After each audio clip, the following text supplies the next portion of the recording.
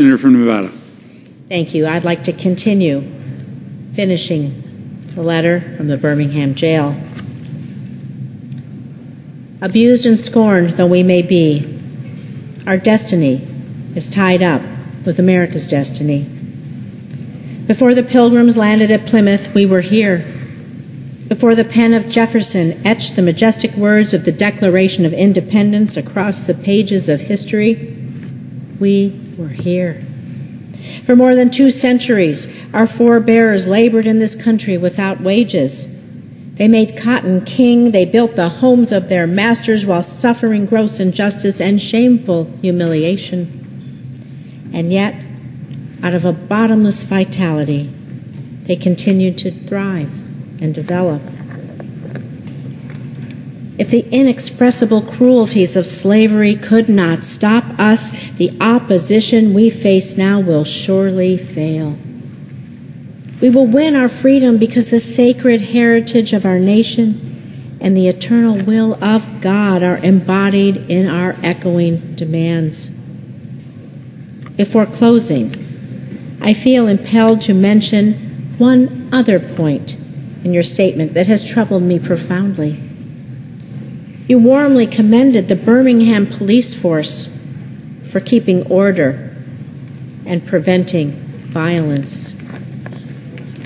I doubt that you would have so warmly commended the police force if you had seen its dogs sinking their teeth into unarmed, non-violent Negroes. I doubt that you would so quickly commend the policemen if you were to observe their ugly and inhumane treatment of Negroes here in this city jail if you were to watch them push and curse old Negro women and young Negro girls, if you were to see them slap and kick old Negro men and young boys, if you were to observe them as they did on two occasions, refuse to give us food because we wanted to sing our grace together. I cannot join you in your praise of the Birmingham Police Department. It is true that the police have exercised a degree of discipline in handling the demonstrators. In this sense, they have conducted themselves rather nonviolently in public. But for what purpose? To preserve the evil system of segregation?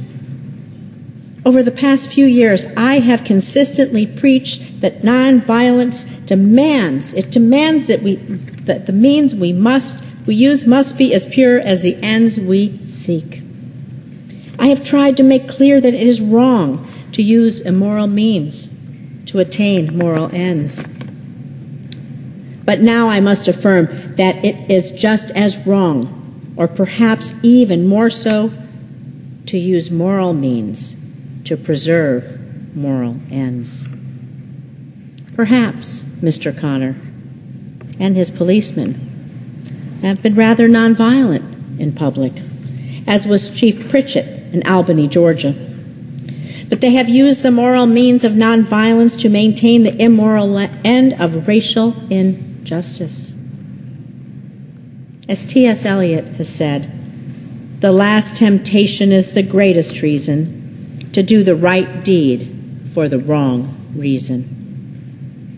I wish you had commended the Negro sit inners and demonstrators of Birmingham for their sublime courage, their willingness to suffer, and their amazing discipline in the midst of great provocation. One day, the South will recognize its real heroes. They will be the James Merediths with the noble sense of purpose that enables them to face jeering and hostile mobs, and with the agonizing loneliness that characterizes the life of the pioneer. They will be old, oppressed, battered Negro women symbolized in a 72 year old woman in Montgomery, Alabama, who rose up with a sense of dignity and with her people decided not to ride segregated buses, and who responded with ungrammatical profundity to one who inquired about her weariness. My feet is tired. but my soul is at rest. They will be the young high school and college students, the young ministers of gospel and their host of elders, courageously and nonviolently sitting at lunch counters and willing to go to jail for conscience sake. One day, the South will know that when these disinherited children of God sat down at lunch counters, they were, in reality, standing up for what is best in the American dream and for the most sacred values of our Judeo Christian heritage. Thereby bringing our nation back to those great wells of democracy which were dug deep by the founding fathers in their formulation of the Constitution and the Declaration of Independence. Never before have I written so long a letter. I'm afraid it is much too long to take your precious time. I can assure you that it would have been much shorter if I had been writing from a comfortable desk. But what else can one do when he is alone in a narrow jail cell other than write long letters, think long thoughts, and pray long prayers? If I have said anything in this letter that overstates the truth and indicates an unreasonable impatience, I beg you to forgive me. If I've said anything that understates the truth and indicates my having a patience that allows me to settle for anything less than brotherhood, I beg God to forgive me. I hope this letter finds you strong in the faith.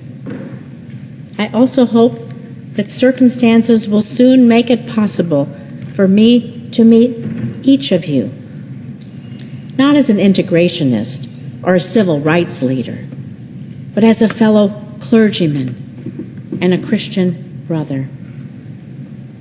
Let us all hope that the dark clouds of racial prejudice will soon pass away and the deep fog of misunderstanding will be lifted from our feared, drenched communities. And, in some not too distant tomorrow, the radiant stars of love and brotherhood will shine over our great nation with all their scintillating beauty. Yours for the cause of peace and brotherhood, Martin Luther King, Jr. Mr. President, I, oh, I yield. Senator from Ohio. Uh, thank you, Senator Rosen. Uh, thank you to my colleagues who joined us today uh, to read these powerful words. Uh, Senators Warnock and Tillis and Casey and Capito and Boozman and Rosen. Uh, this is a diverse group on the floor today whose states reflect the vibrant and wonderful diversity of our great nation from the deep south to the Mountain West to the industrial Midwest. We represent different places. We may disagree on many things, but we love this country. We know we can do better for the people who make it work. Dr. King and the civil rights leaders of his generation did more than just about anyone to push this country to live up to our founding ideals and to make the dream of America real for everyone. Protesting, working for change, organizing, demanding our country do better, those are some of the most patriotic things all of us can do. That's Dr. King's charge in this letter. My favorite single line, certainly in this letter and maybe in all of Dr. King's preachings and teachings and writings, progress never rolls in on the wheels of inevitability. Progress never rolls in on the wheels of inevitability. It rolls in because we make it so. That is our charge. Think about Think about that campaign Dr. King was waging when he was martyred in Memphis. Think about who he was talking to. Union sanitation workers, Local 1633 AFSCME. And think of the circumstances. This was a was very segregated Memphis. He was in a segregated white neighborhood. Even the sanitation truck uh, where these workers were working uh, was segregated. The, the cab of the truck was two white workers. The back of the truck was doing the actual lifting and picking up garbage were two black workers. And the, the, in February, Dr. After, before Dr. King first visited, the garbage truck. The, there was a torrential downpour in this white segregated neighborhood. There was nowhere for these black sanitation workers to go. They crawled in the back of the truck. It malfunctioned and crushed these two workers. That's why Dr. King was in Memphis the first time and the second time. He told these workers, what does it profit as he as he as he wove together worker rights and civil rights and labor rights? He told these workers, what does it profit a man to be able to eat in an integrated lunch counter if he doesn't earn enough money to buy a hamburger and a cup of coffee? Those workers were vital to their community. They worked hard to provide for their families. They were denied fair pay, denied political rights, denied basic safety on the job. Uh, the presiding officer today is Senator, uh, Senator Cortez Masto from Nevada. He has joined in so many efforts on this Senate floor to fight for workers, to fight for the dignity of work, to fight for safety and civil rights and worker rights. It's not a coincidence that the workers who are so often the most exploited were low income workers and especially black workers. Until all workers have the dignity they've earned, Dr. King's work will remain unfinished. Means paying all workers a living wage. It means giving them power over their schedule. It means providing good benefits, safety in the job. It means letting them, if they so choose, organize a union. That means all workers it's about the dignity of work. All workers get a fair share of the wealth they create. When we empower workers, we bring us closer to the society Dr. King envisioned where all labor has dignity.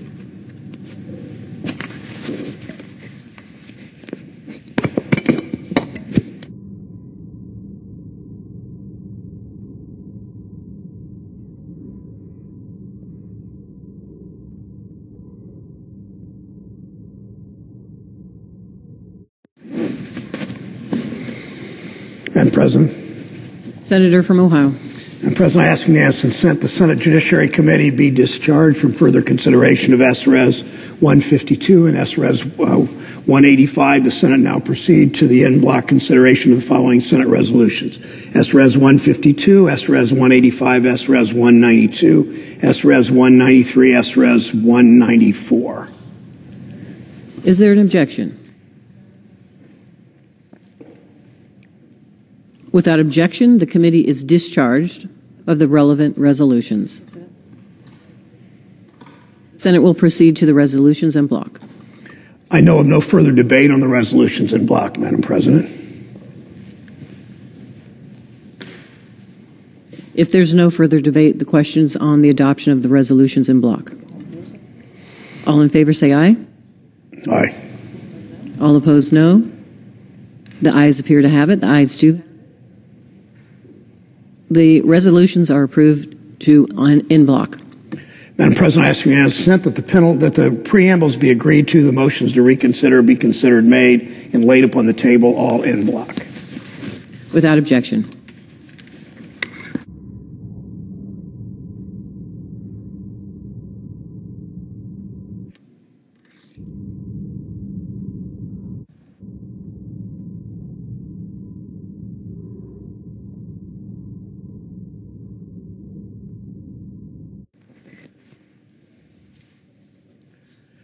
Madam President. Senator from Ohio. Thank you, Madam President. I uh, will speak briefly. I know we're expecting a vote at 5:30. I will uh, not speak nearly that long, but I, I know we are about to vote on the uh, Congressional Review Act on an issue that um, I happen to disagree with the president on. I've my whole career has been standing up for workers. My whole career has been standing up uh, for uh, sometimes to presidents, presidents of both parties, and I think if you look at the history of trade in this country and what we've what we've done, we've seen, frankly, that this body, that down the hall in the House of Representatives and in the White House have, have not have historically not stood up for workers. I I used I, I grew up in Mansfield, Ohio, in a small industrial city, about fifty thousand people.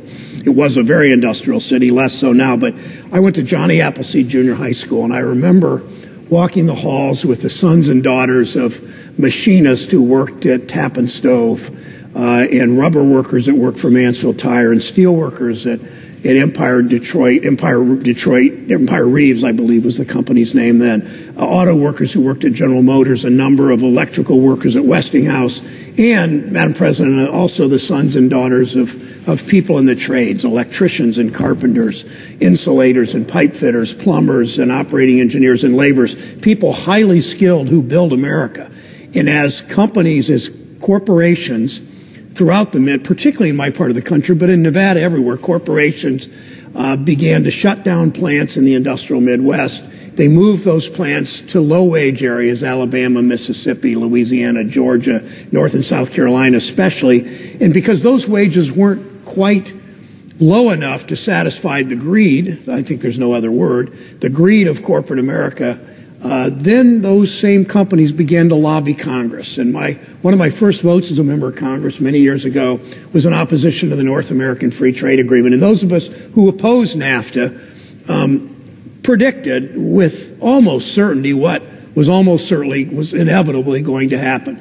Once you, once you pass a trade agreement giving these companies the opportunity to go to Mexico and then to China at, with no tariffs, going for very low wages to exploit workers in those countries, which is what they did. Um, you begin to see plants shut down. And uh, Madam President, we know we know what happened. We know that far too many of our colleagues in the House and Senate uh, were willing to pass these trade trade agreements like NAFTA. We also know that uh, down the hall, the House of Representatives did the same thing, the Senate did it, and frankly, we had presidents of both parties who sold out American workers. And the lobbyists were here pushing for NAFTA, pushing later for PNTR with China, weakening the rules there so that these companies, um, they, they, were, they were up and gone. They, they left, uh, they left Ohio, they left Indiana, they left Illinois, they left uh, so much of the industrial Midwest.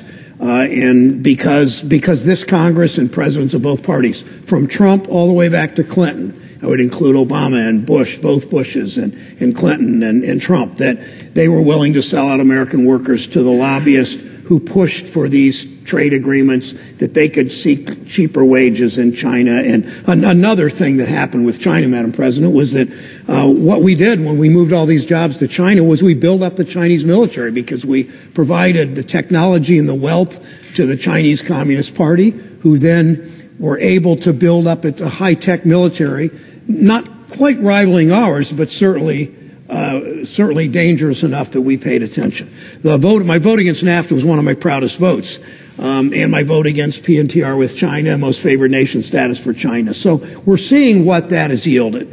Um, in the end, it's a simple choice: whose side are you on? Either the side of the Chinese Communist Party or the side of American workers. And that, to me, what is what this vote is about today. The Congressional Review Act about solar tariffs. I would add Full disclosure, one of the biggest solar manufacturers, I believe still the biggest single solar manufacturing plant in America, is near Toledo, just south of Toledo northwest Ohio. Um, those workers will benefit if we vote yes and then override the president's veto. Um, it's what I urge my colleagues to do today to pass this simple resolution uh, to continue um, these tariffs on China because as long as they keep cheating, as long as American companies are willing to, um, to take the products from slave labor and underpaid labor and exploited labor and bring them into this country. These, these problems will continue for our industrial base. I, I heard the President of the United States uh, down the hall at the, at the um, I believe his last State of the Union, saying the term Rust Belt. We are burying the term Rust Belt. Um, I've talked to the President about burying that term. He mentioned it that day on the State of the Union that evening. And mostly we're starting to in this country. We're seeing a reindustrialization of America. We're seeing chips now. Chips were invented in the United States. 90% of them were made mostly in Taiwan and China. Um, the light bulb yeah, was invented by an Ohioan, Thomas Edison, not far. He grew up not far from where I grew up. Um, now, 100% of LEDs are made overseas. So if we're going to reindustrialize this country, bring these jobs back, that's what the chips, that's what the chips legislation is all about. That's what uh, we are doing um, with Intel in Columbus. This sets us back. This, this um, president's veto of this bill um, sets us back uh, a couple more years in, in re- redeveloping, bringing these jobs back uh, doing the kind of insourcing that, that President Senator Casey and others have fought for here. So um, I ask my, I'll wrap up asking my colleagues to vote, uh, vote yes on this Congressional Review Act on solar tariffs. Because again, it's whose side are you on? Are you on the side of the Chinese Communist Party or on the side of American workers? To me, it's as clear as day um, which side to be on. Thank you, Madam President.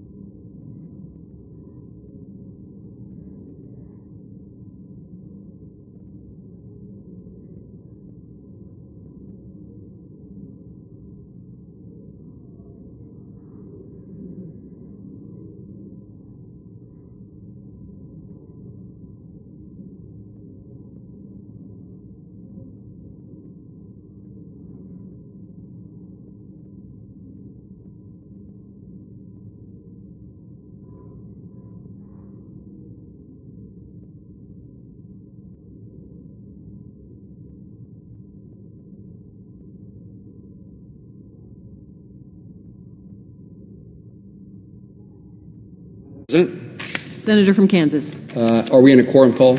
No, we are not. Madam President, uh, thank you very much. Today, in fact, just a, a few hours, a few minutes from now, the Senate will act uh, on uh, an effort to protect farmers, ranchers, and producers from the unnecessary consequences of the listing of the lesser prairie chicken. Uh, this, even as I say the words, it brings back so many instances in which we've had this conversation on the Senate floor, going back to my earliest days in the Senate. This issue has been with us now for a long number of years. Range wide studies over the last decade have shown that conservation efforts are helping bird populations in the five habitat states, including Kansas. So the lesser prairie chicken is, is a native bird to five states in our part of the country. And its uh, populations are important to us in Kansas and to those other states and to the country. But what strikes me is that this administration claims that American agriculture is at the heart of needing to list the lesser prairie chicken as either an endangered species or a threatened species because agriculture is causing harm to the populations. A quote from the rules state, quote, grazing by domestic livestock is not inherently detrimental to lesser prairie chicken management and in many cases is needed to maintain appropriate vegetative structure a pretty good paragraph to indicate the value of production agriculture when it comes to the well being of the lesser prairie chicken. In other words, what that's saying is that agricultural management practices and voluntary conservation practices of grasslands, including grazing by ranchers, improve, improve the habitat. Listing the bird as a threatened and endangered species is not the answer. Plain and simple, we need more rainfall. We need moisture in Kansas and other states in the West. We need more rainfall, not more regulations. I conclude here by saying that farmers and ranchers have always been and will always be the original conservationists. Their livelihood depends upon the continued conservation efforts of the soil and the water they use to produce crops and raise livestock. I am confident there are ways to conserve the species without hindering economic opportunity in rural communities, and I will continue to push for what Kansans have been pursuing for years now voluntary solutions. Madam, Madam President, I yield the floor.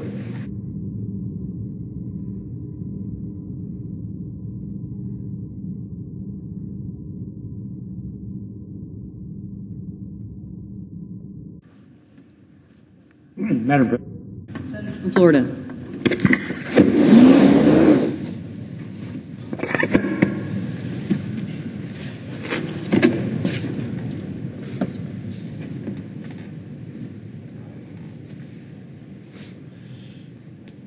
Madam President, I would take a moment to address some of what we heard here on the Senate floor today. There have been a lot of accusations made about what this CRA does, and I'll clear that up in a minute. But first, I'd like to set the record straight on what this measure does not do. My colleagues often talk about their work to protect human rights. I'd ask the simple question what could possibly be, great, be a greater threat to human rights than the United States of America turning a blind eye to child slave labor? What message does it send to the world? We've heard here today that this measure will force American companies to pay for these tariffs. Not true. Madam President, what this measure does do is rightfully punish foreign companies that are actively working to get around U.S. trade law and help import product made with slave and child labor into the United States. The only entities who will pay tariffs are Chinese affiliated manufacturers. If you're doing the right thing, this measure doesn't change a darn thing about how you do business. But if you're working with people who believe slavery has a role in supply chains, you're darn right I have a problem with that and will do whatever I can to stop it. Madam President, I also heard today that the rule that this CRA would eliminate was negotiated by the solar panel industry. We've heard that the solar panel industry agrees we need this exemption and therefore it's good. Of course, the solar panel industry that supports the rule is the Chinese solar panel industry. American manufacturers do not. Thanks to the Biden administration's waiver that we are working to repeal here today, Chinese companies have been given everything they need to dominate the solar market just like how Russia has dominated cheap gas supply to Europe. Madam President, I've also heard some of my colleagues say that this CRA is unnecessary because we've already passed a law that says products made with slave labor cannot be sold in the United States. We did pass a good bill that prevents products made with slave labor from being sold here, and I thank God we did that. But since when has U.S. law meant anything to Communist China? We know companies controlled by the CCP lie, cheat, and steal. We know that companies in Communist China are moving solar panels made with slave and child labor to other countries to circumvent our laws, and they aren't being caught. President Biden's own Commerce Department has proven that to be true. When half the world's solar panels are coming from a region with well documented child and slave labor, are we really expected to believe that the companies making these panels aren't using slave labor? No, we know that's not reality. Finally, Madam President, I've heard the claim that this CRA will somehow be terrible for American jobs. This one actually surprised me. Here's, that, here's how that logic goes letting Communist China dominate a market by using slave and child labor is better than supporting American manufacturing and American jobs here at home. Let me know if you can figure that one out. See how that makes sense. Some of my colleagues on the left claim that 30,000 jobs will be lost. That's not even close to being true. Guess who gave them that information? The Chinese dominated solar lobby group. Yes, the same group who is perfectly happy to keep things the way they are so they can make a buck on the back of slave and child labor. Now, when I went to look at this report today, I couldn't find it. It's not on their website. This is what you get when you try to look at their so called analysis. Sorry, we couldn't find that page. Honestly, I think our colleague from Pennsylvania got it exactly right when he told a news outlet this week too often China gets away with undermining our markets, undermining our companies, and every time they cheat, we lose jobs in Pennsylvania. Senator Casey is right. It's not just true in Pennsylvania, it's true in every state across our great country. Senator Wyden is right too. Discussing the same issue, he said, red, white, and blue manufacturing particularly now when people see we're serious about it, that's the key time in this two year window when the Chinese can hit us. To be honest, Madam President, I'm shocked by excuses from some of my colleagues. I note that it's only some because this CRA is actually a bipartisan bill. The excuses for inaction by some on the left doesn't make sense to me. What we are talking about tonight is whether anything is worth turning a blind eye to slavery and child labor. The Chinese dominated industry has agreed that this waiver is a good thing. What a shocker. What some of my colleagues on the left are saying is that the endorsement of Chinese manufacturers is enough to turn a blind eye to slave and child labor. I clearly disagree. When this rule, with this rule repealed by this CRA, tariffs first put in place by President Obama's Commerce Department to hold Chinese manufacturers who violated our trade laws accountable will be reinstated, forcing companies to work with only those partners who aren't actively involved in slave and child labor. Madam President, to say what a good thing for the Senate is, to, to that I say what a good thing for the Senate to put it behind us and to support it. President Xi is a dictator. And human rights violator. violator. He is yet another communist leader trying to be the dominant world player. The Chinese Communist Party has stripped the people of Hong Kong of their freedoms. They've cracked down on dissidents, militarized the South China Sea, threatened Taiwan, and surveilled its citizens, and committed a genocide against the Uyghurs simply because of their religion. We know the Chinese Communist Party will do anything to destroy America. The national security threat of Communist China cannot be taken lightly, and the human rights abuses against the Uyghurs, including slave labor, child labor, and genocide, cannot be ignored. The United States cannot tolerate Communist China's horrific human rights abuses and genocide of Uyghurs. In addition to this, Communist China will stop at nothing to exploit American markets and take advantage of U.S. investors and companies doing business within its country. Communist China poses a clear and present threat to the United States and the world. In 2022, the Department of Commerce caught Communist China circumventing U.S. trade laws to avoid American tariffs. To avoid American tariffs, Xi's regime started sending Chinese made solar products made with slave labor to Southeast Asian countries, claiming they're made in the corresponding nation. So here's what they were doing they made them, it was made here, then they shipped them down here and said they were made here and shipped them here so they didn't have to, uh, to pay the tariffs. These Chinese made products, again, made with slave and, and, child labor. And you can see this is some of the, you know, there's not a lot of pictures that come out of, uh, out of this area, but these are some of the Uyghurs. And they're, they're clearly being put to work uh, to do whatever the Communist Party wants them to do. These Chinese made products, again made with child and slave labor, were then imported to the U.S. Despite his own Department of Commerce investigation, President Biden issued an emergency declaration exempting these Chinese made solar products, again, made with slave and child labor from our trade laws for a full two years. President Biden's solar emergency declaration is a giveaway to President Xi and the Chinese Communist Party. It's a massive gift to a regime that is using slave and child labor, a favor to an evil regime that wants to destroy our great country. There is no other way to describe it. The declaration allows Communist China to circumvent U.S. trade laws, with impunity and continue to dominate the solar industry at the expense of American manufacturers and American jobs. It's an approval of slave and child labor. It's anti American jobs. Communist China's solar manufacturing is based on forced labor, government subsidies, and trade abuses. Communist China isn't doing the United States any favor through their dominance of the solar industry. We are building dependence on them. Even today, Communist China is using forced labor to produce solar panels. Purchasing these solar panels is helping fuel these human rights abuses. Because of this, the Uyghur Human Rights Project has announced its support of this CRA. So this is why we're taking this vote today.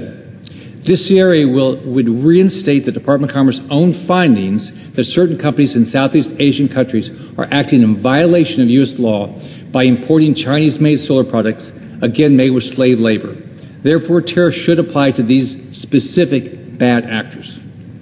The tariffs would only apply to these companies. It would not apply to any other industry or to any companies who are lawfully importing solar products, not made with slave labor, into the U.S. This, pro, this measure is pro American jobs and anti Chinese forced and child labor. It's that simple. Passing this CRA will send a message to President Xi and Communist China. When you break American trade laws and use slave labor, you pay the price.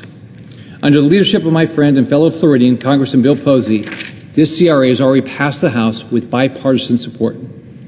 Now it's time for the Senate to finish the job in Congress and send this to President Biden's desk. This isn't partisan, it's about human rights.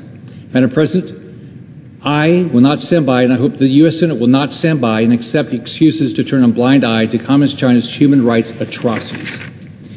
The United States is the beacon of freedom to people all over the world. Voting tonight against holding accountable those who enslave others, including children, will be a stain on our nation that the freedom loving people of the world will not soon forget. I look forward to all of my colleagues supporting this CRA, and I yield the floor.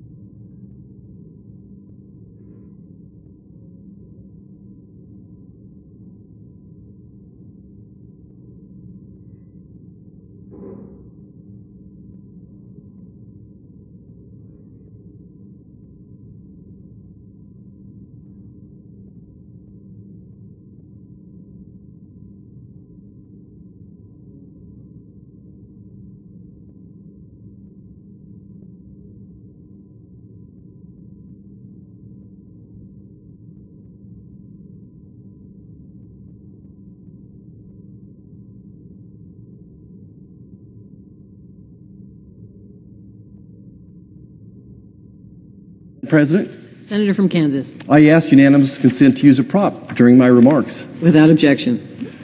Madam President, today I rise in support of SJ Resolution 9, providing for congressional disapproval of the United States Fish and Wildlife Services rule regarding the lesser prairie chicken under the Congressional Review Act.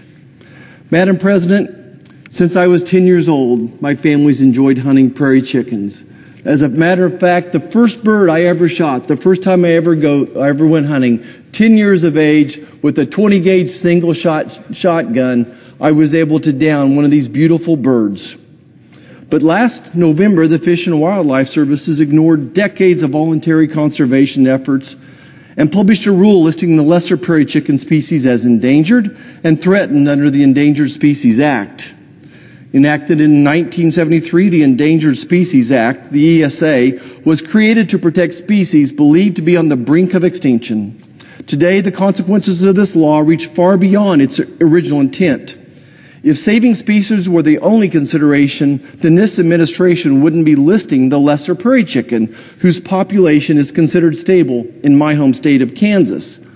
I ask you, was the ESA made for the good of humankind, or was humankind made for the good of the ESA?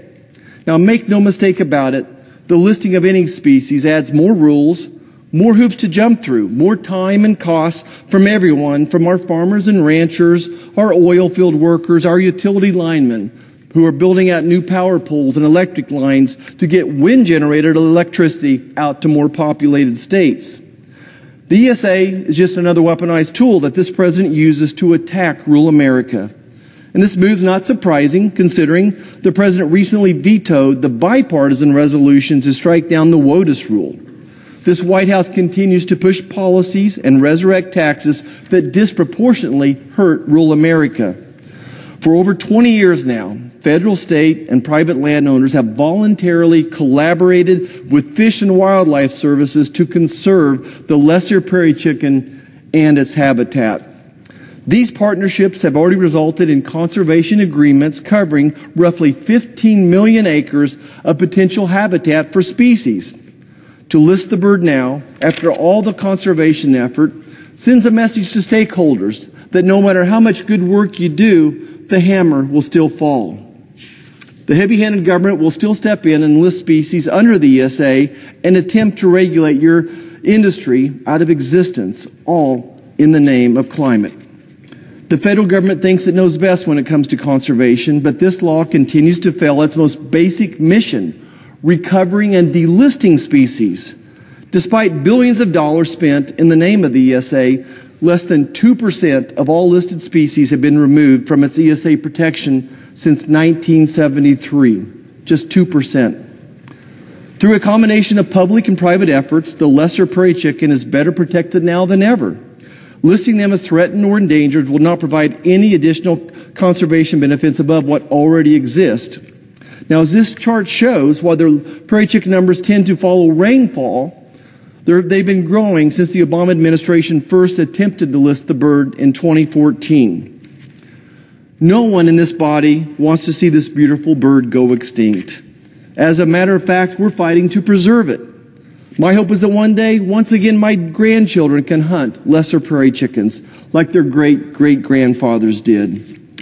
Listen, no oil producer, no rancher, no farmer, no wind energy producer wants the demise of the lesser prairie chicken. That's why voluntary partnerships have worked and are working. Just like all my fellow Kansans, I'm committed to saving our environment for future generations. To share some wise words from one of my friends, and I quote him, we are passengers on this planet, not captains, end quote. And we need to continue to work with Mother Nature and not punish hardworking Americans. A listing of this species now will only slow down and drive up the cost of our wind energy exports from Kansas, which shares many of the same range.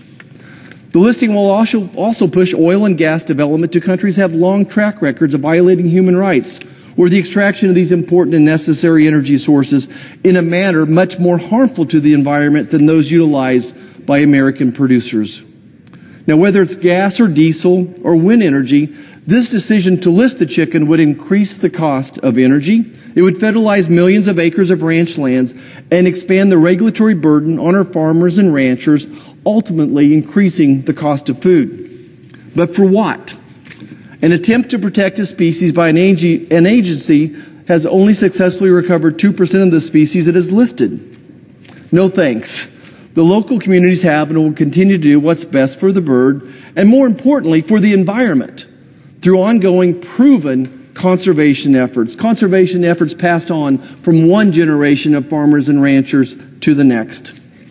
This administration ignores the impact that overall regulation has on American industries. And I hear this from everyone who visits my office. The cost of this administration rules and regulations already outpace the two administrations, the last two administrations combined, with $363 billion in rules so far. Since January 1st of this year alone, that number is $148 billion. Under this administration, the annual paperwork burden on business has increased to over 220 million hours. Since January 1st, that number is approaching 50 million hours. Indeed, a red tape of nightmare for businesses. This resolution is one of many vital steps the Senate GOP is taking to unleash the economy from the bureaucratic harassment that the White House has deployed. I'm asking you to join me in applauding rather than punishing voluntary conservation efforts and support the joint resolution for congressional disapproval of the Lesser Prairie Chicken listing. Thank you, and I yield back.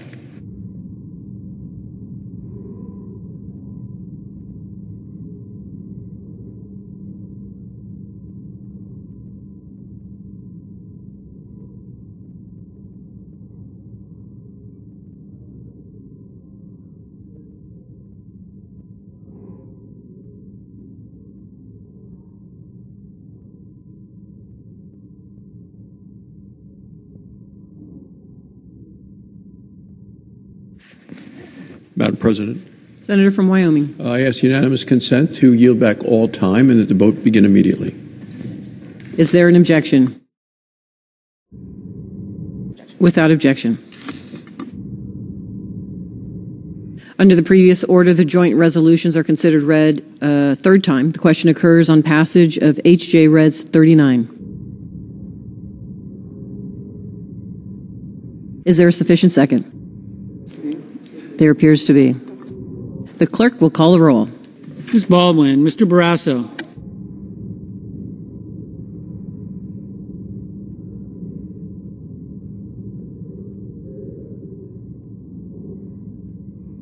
Mr. Bennet.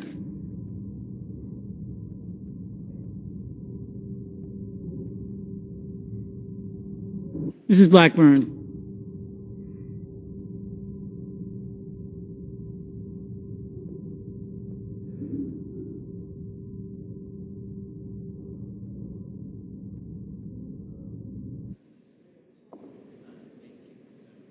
Mr. Blumenthal.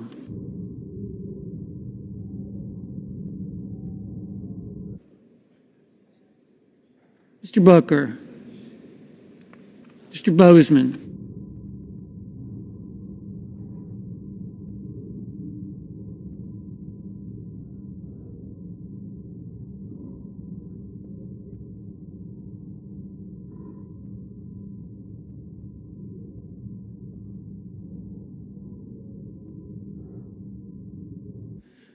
Braun.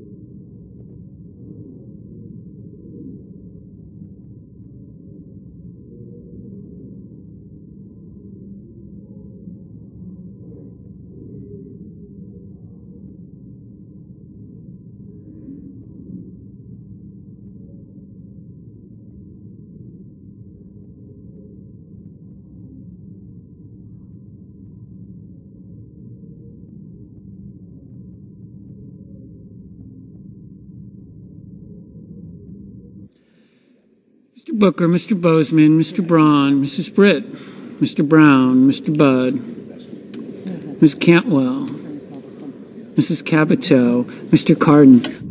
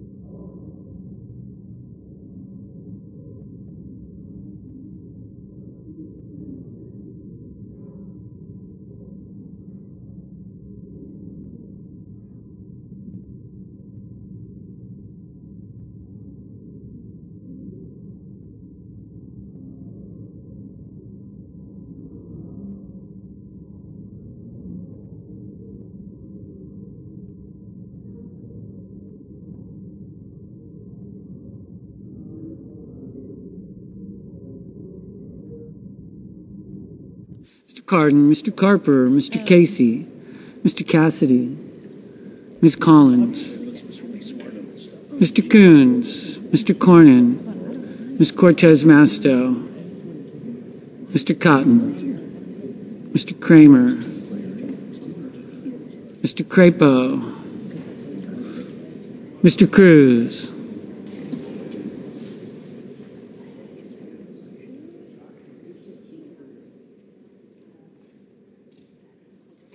Mr. Daines, Ms. Duckworth,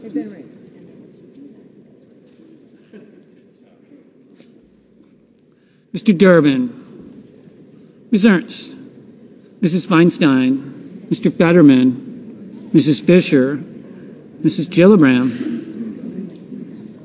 Mr. Graham, Mr. Grassley, Mr. Hagerty, Ms. Hassan, Mr. Hawley, Mr. Heinrich, Mr. Hickenlooper,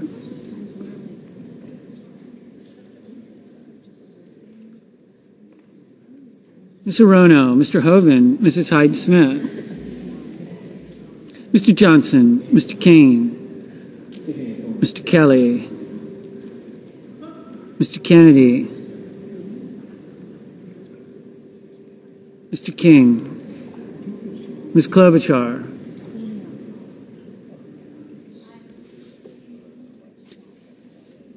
Mr. Lankford, Mr. Lee, Mr. Lujan, Ms. Lummis, Mr. Manchin, Mr. Markey, Mr. Marshall, Mr. McConnell, Mr. Menendez, Mr. Merkley, Mr. Moran, Mr. Mullen, Ms. Murkowski, Mr. Murphy, Mrs. Murray, Mr. Ossoff, Mr. Padilla, Mr. Paul, Mr. Peters, Mr. Reed, Mr. Ricketts, Mr. Risch, Mr. Romney, Ms. Rosen, Mr. Rounds, Mr. Rubio, Mr. Sanders, Mr. Schatz, Mr. Schmitt, Mr. Schumer, Mr. Scott of Florida, Mr. Scott of South Carolina, Mrs. Shaheen, Ms. Sinema, Ms. Smith, Ms. Stabenow, Mr. Sullivan, Mr. Tester, Mr. Thune, Mr. Tillis, Mr. Tuberville, Mr. Van Hollen, Mr. Vance, Mr. Warner, Mr. Warnock, Ms. Warren, Mr. Welch, Mr. Whitehouse, Mr. Wicker, Mr. Wyden, Mr. Young.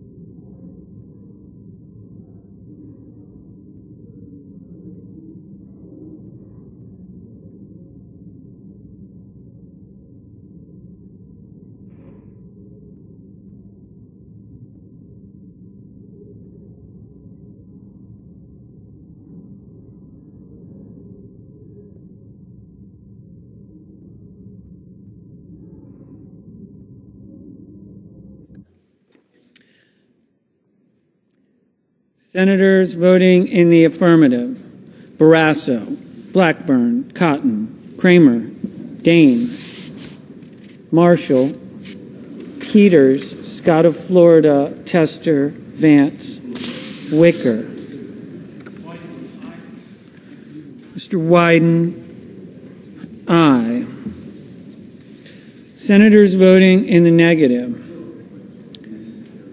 Cardin, Cortez Masto, Duckworth, Gillibrand, Hassan, Lujan, Menendez, Reed, Rosen, Whitehouse.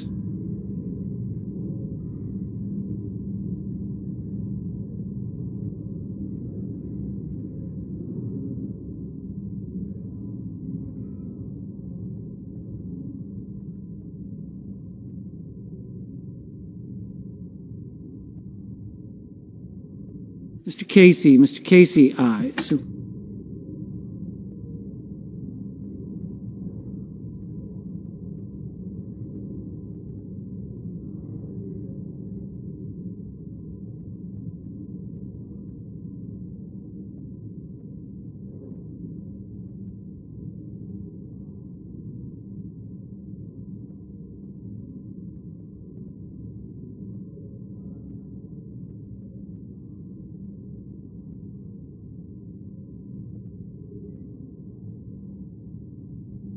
Mr. Rounds, Mr. Rounds, aye. Mr. Brown, Mr. Brown, aye.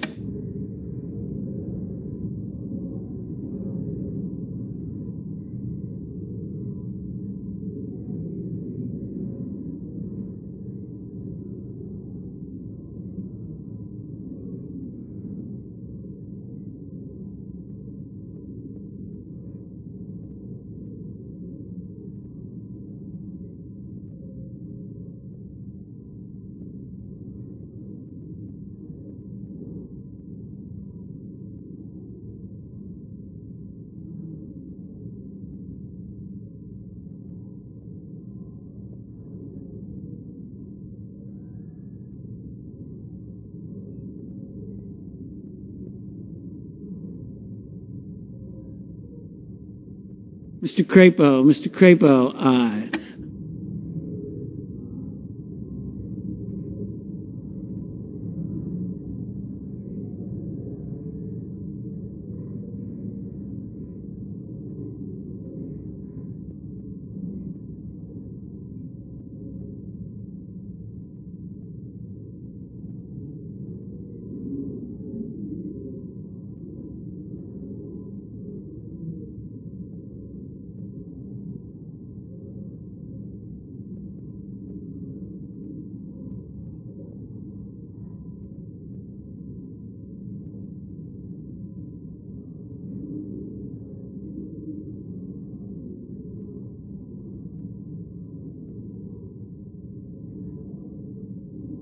Stabenow, Ms. Stabenow, aye.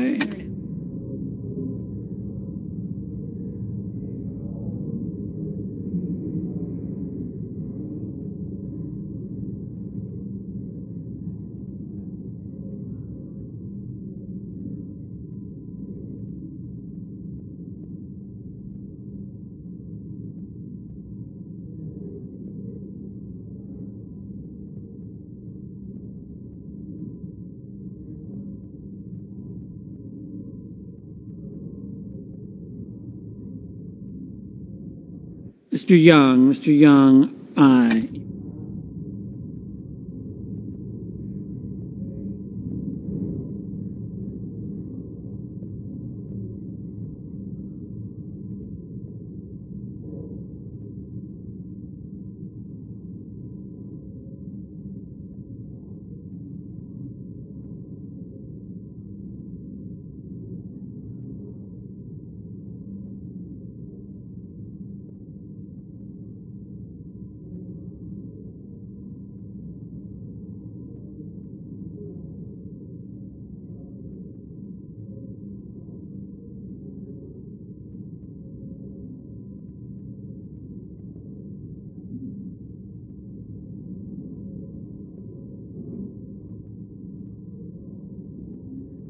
Graham. Mr. Graham, aye.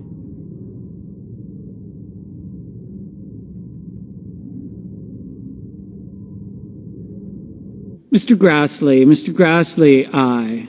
Mrs. Fischer, Mrs. Fischer, aye.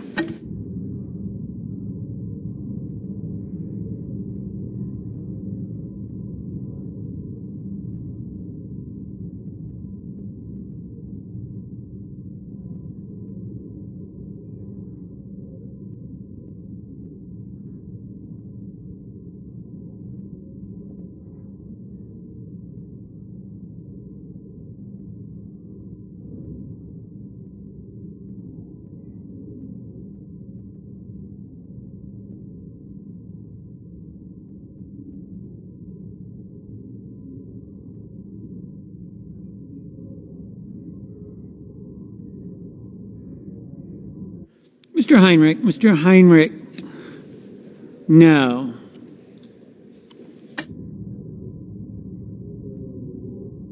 Miss Collins, Miss Collins, aye.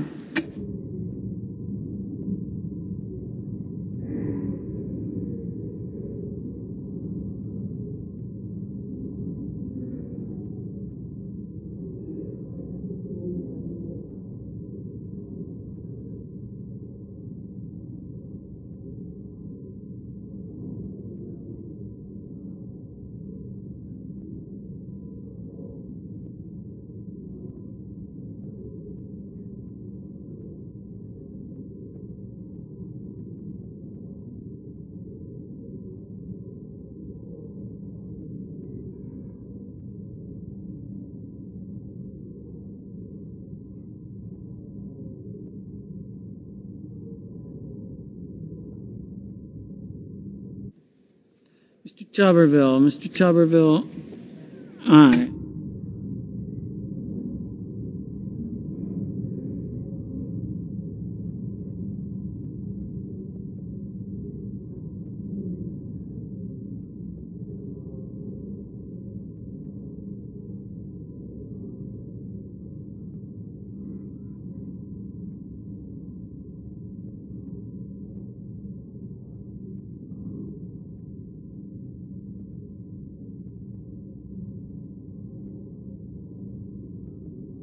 Ms. Smith, Ms. Smith, no. Mrs. Shaheen, Mrs. Shaheen, no. Mr. Ossoff, Mr. Ossoff, no.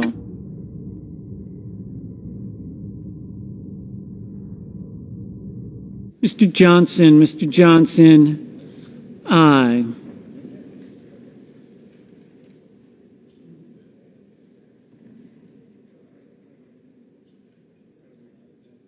Mr. Paul, Mr. Paul, no.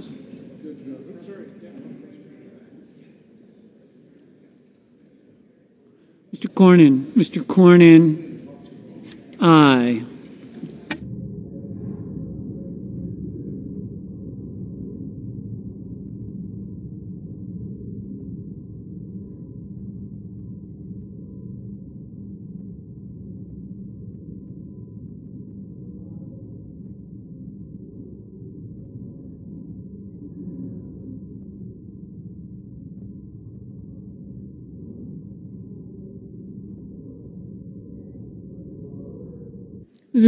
Mrs. Murray, no.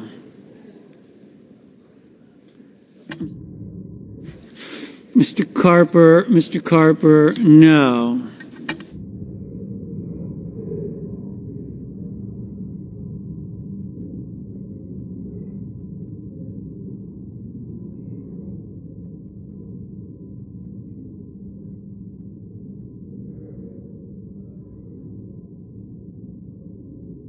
Mr. Padilla, Mr. Padilla, no.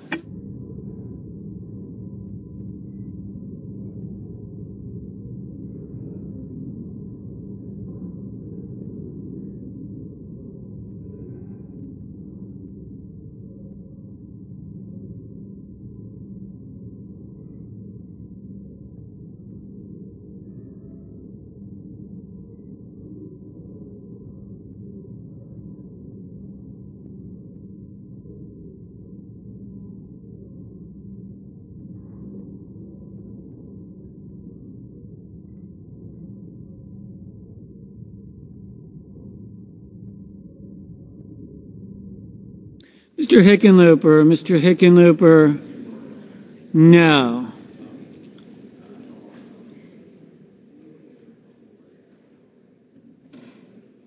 Ms. Warren, Ms. Warren, no. Mr. Romney, Mr. Romney, aye.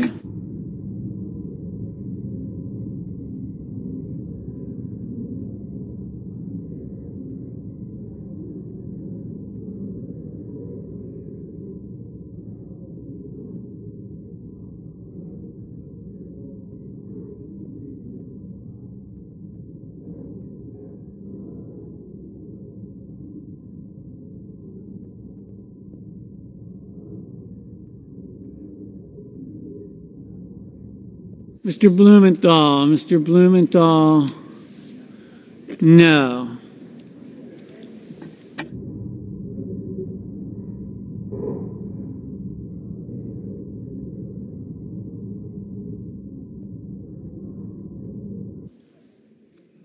Mr. Murphy,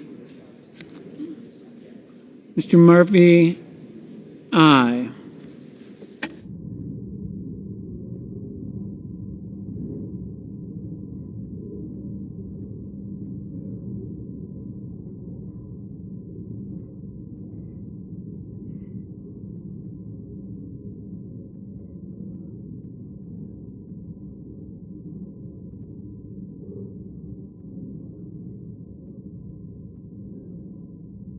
Mr. Murphy, Mr. Murphy, no. Ms. Lummis, Ms. Lummis, aye. Mr. Schmitt, Mr. Schmitt, aye. Mr. Cassidy, Mr. Cassidy,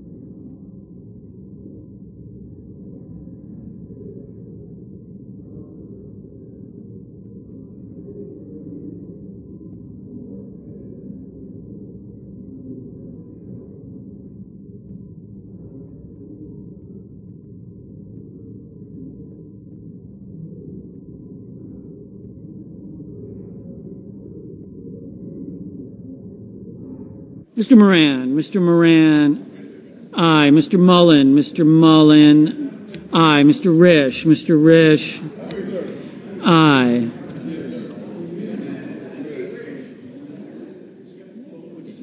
Mr. Scott, Mr. Scott of South Carolina,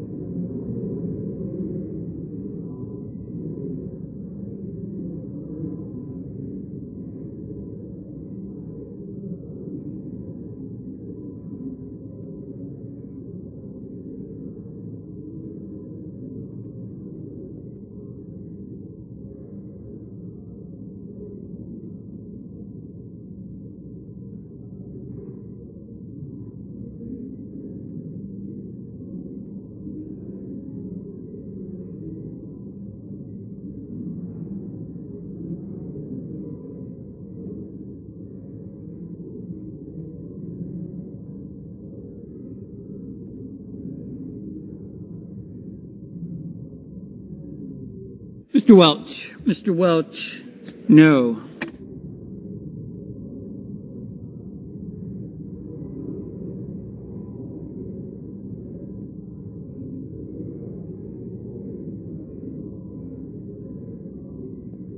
Mrs. Hyde Smith. Mrs. Hyde Smith. Aye.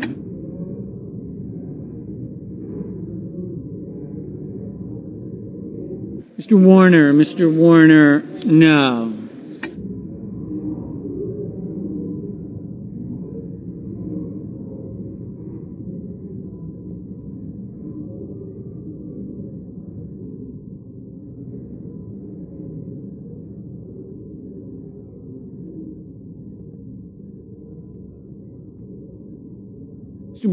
Mr. Braun. Aye. Mrs. Capito, Mrs. Capito. Aye.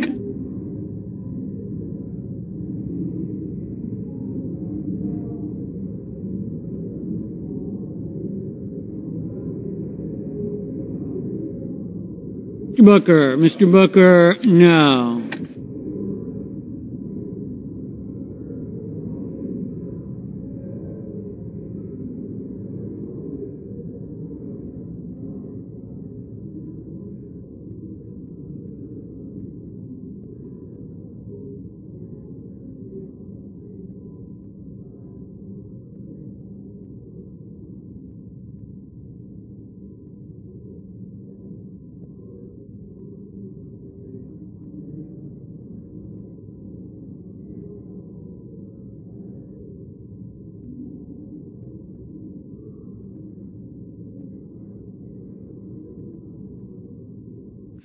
Mr. Coons, Mr. Coons, no.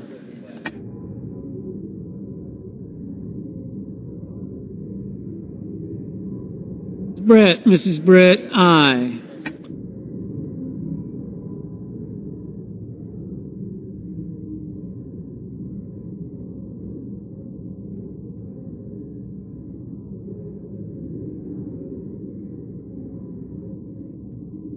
Mr. Van Hollen, Mr. Van Hollen, no. Mr. Rubio, Mr. Rubio,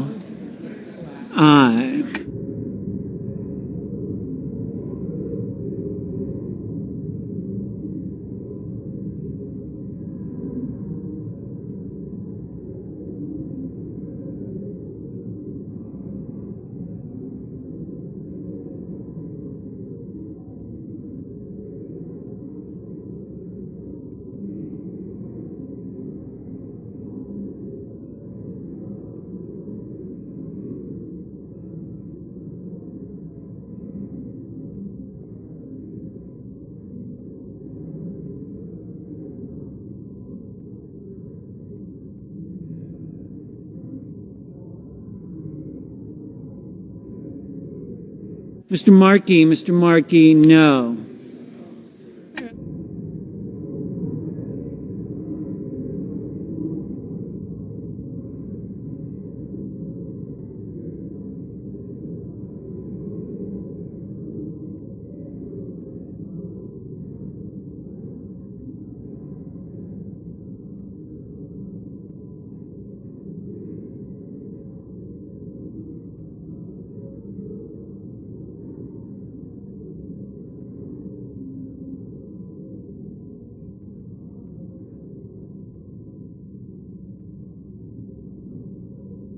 Mr. Thune, Mr. Thune, aye.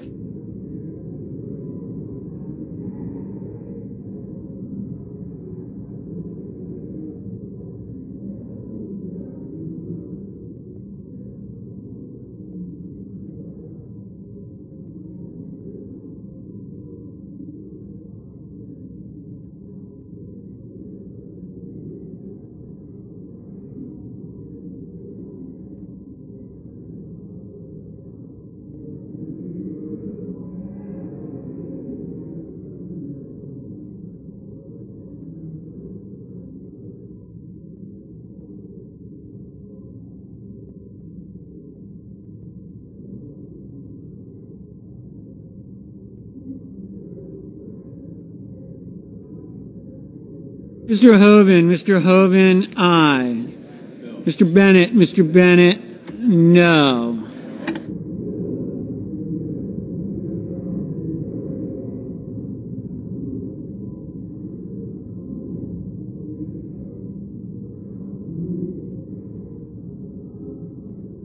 Mr. Lankford, Mr. Lankford, aye.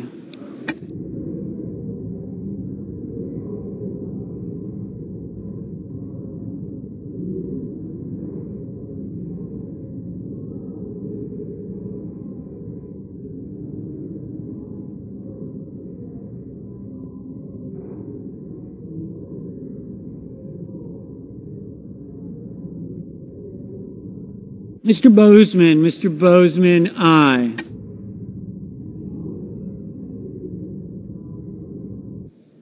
Mr. King, Mr. King, no.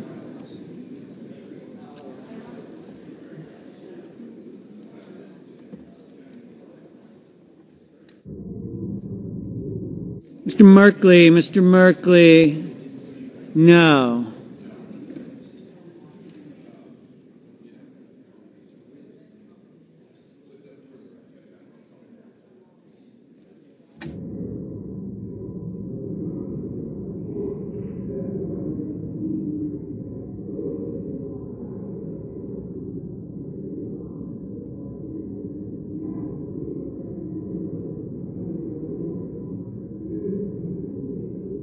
Mr. Schumer, Mr. Schumer, no.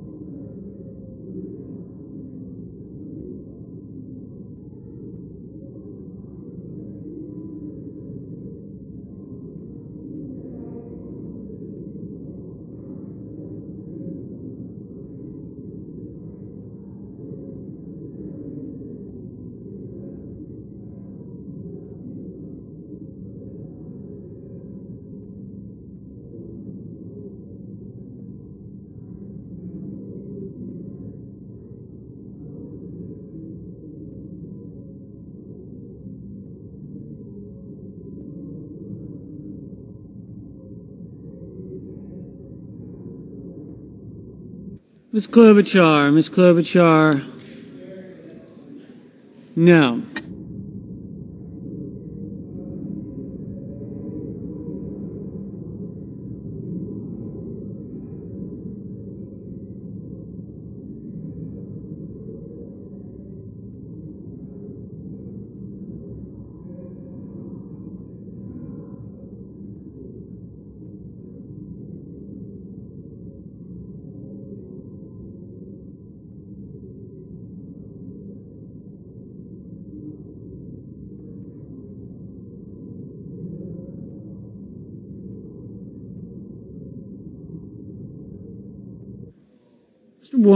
Mr. Warnock, no.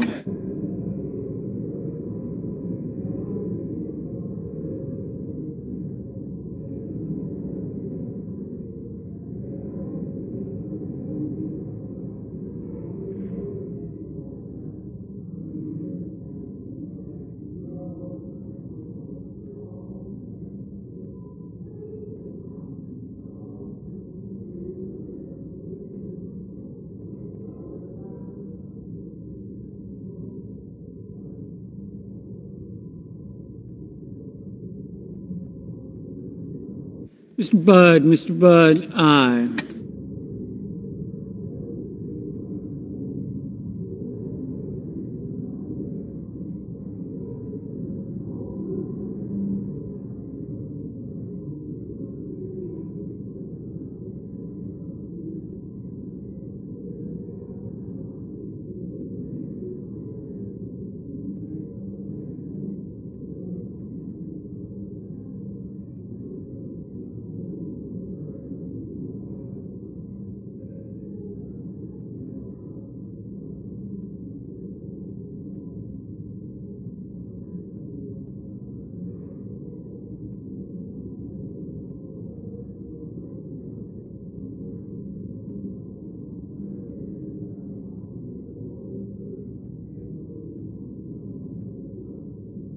Mr. Manchin, Mr. Manchin, aye.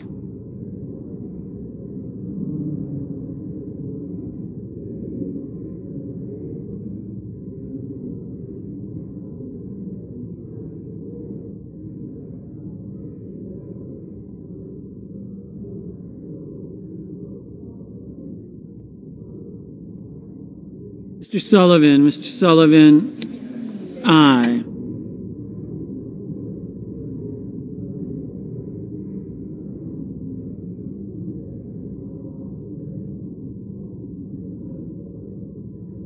Kelly, Mr. Kelly, no.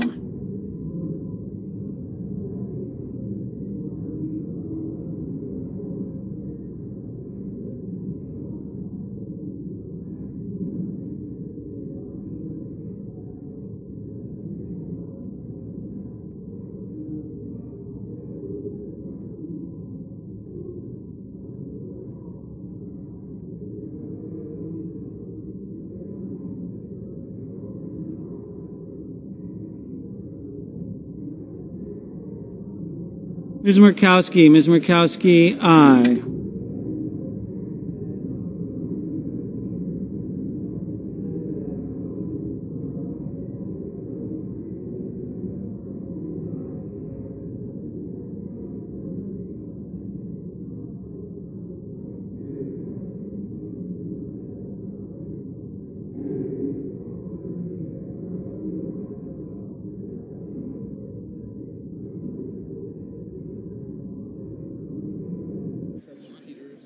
Mr. Kennedy, Mr. Kennedy, aye. Ms. Ernst, Ms. Ernst, aye.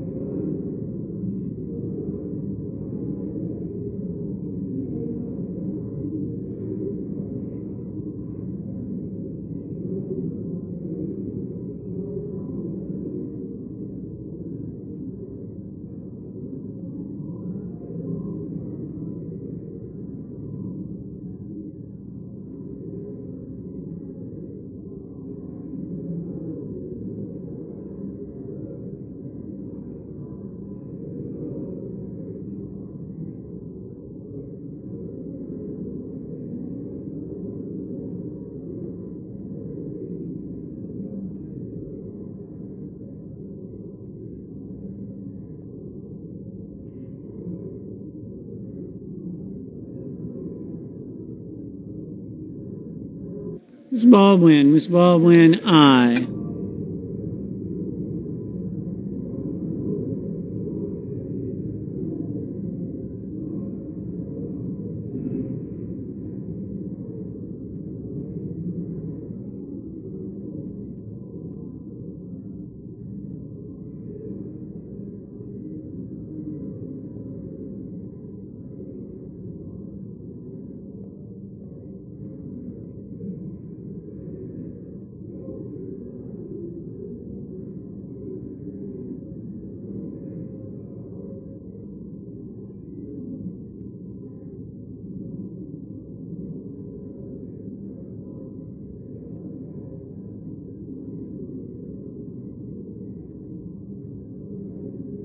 Mr. Lee, Mr. Lee, aye.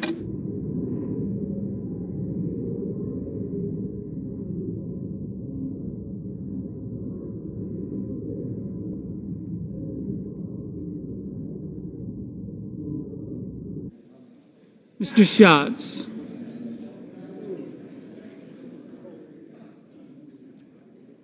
Mr. Schatz, no.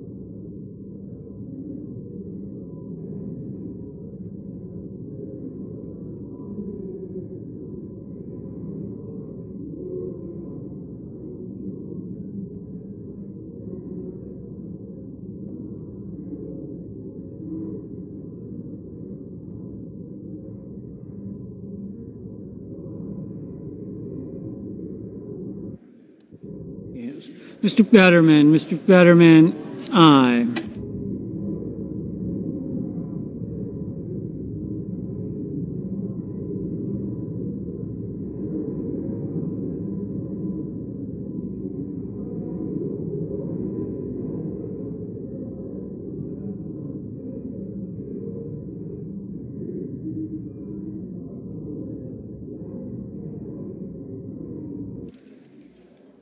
Miss Sinema, Miss Sinema, no.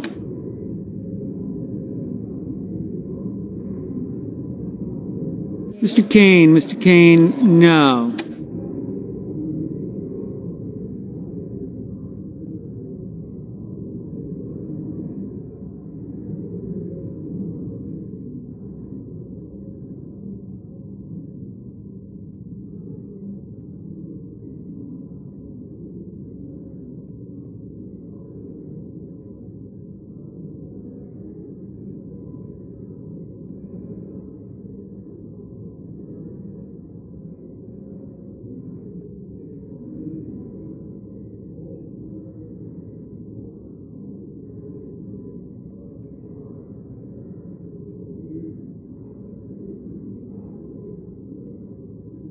Mr. Hawley, Mr. Hawley, aye.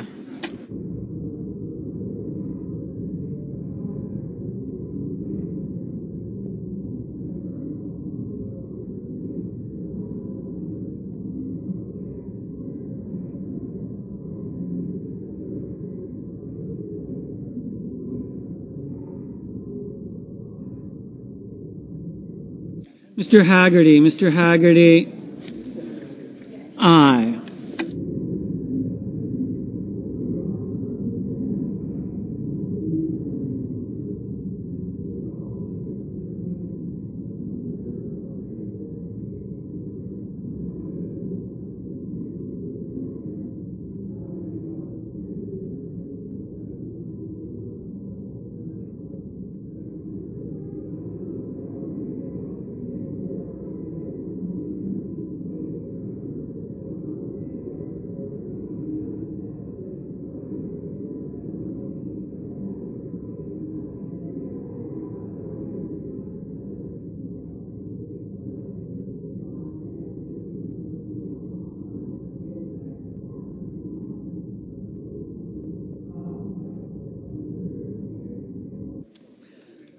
Mr. Ricketts, Mr. Ricketts, aye.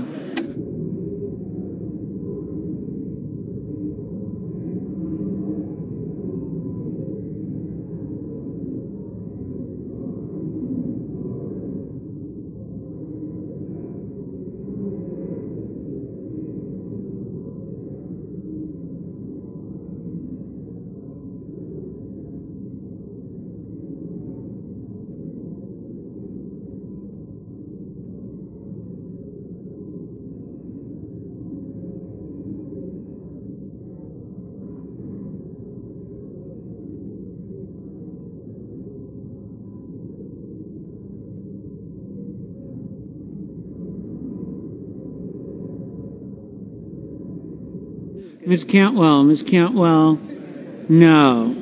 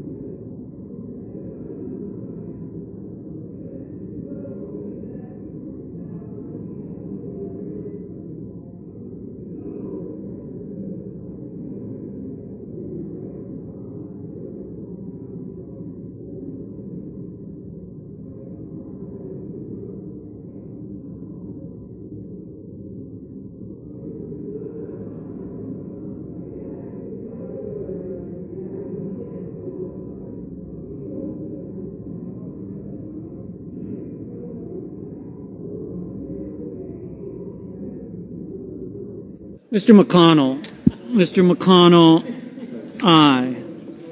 Is Feinstein the other one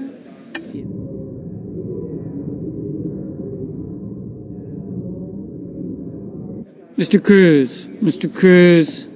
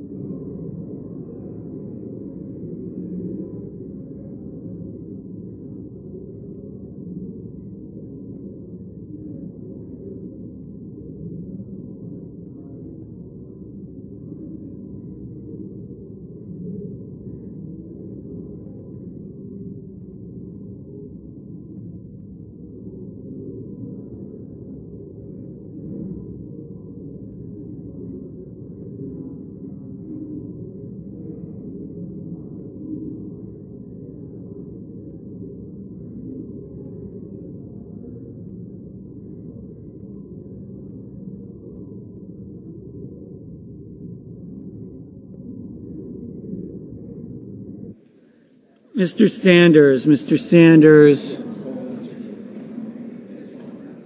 No.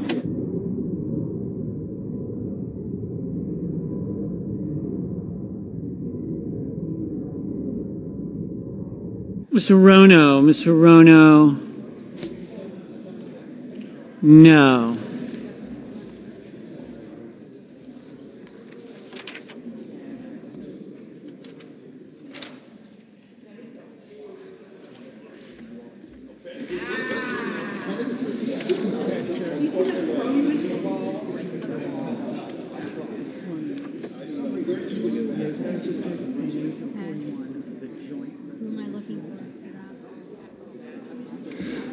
The yeas are 56, the nays are 41, and the joint resolution is passed. I'm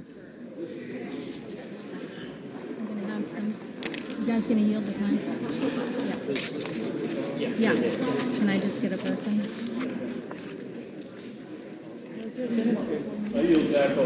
You'll be first. All times yielded. All time is yielded back. Question occurs uh, on passage of. How about dates down? Nine. The question occurs on passage of SJ Res 9.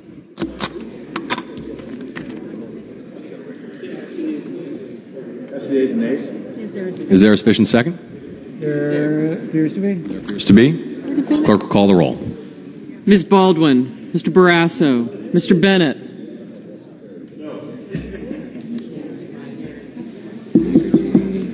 Cassidy, aye. Cantwell.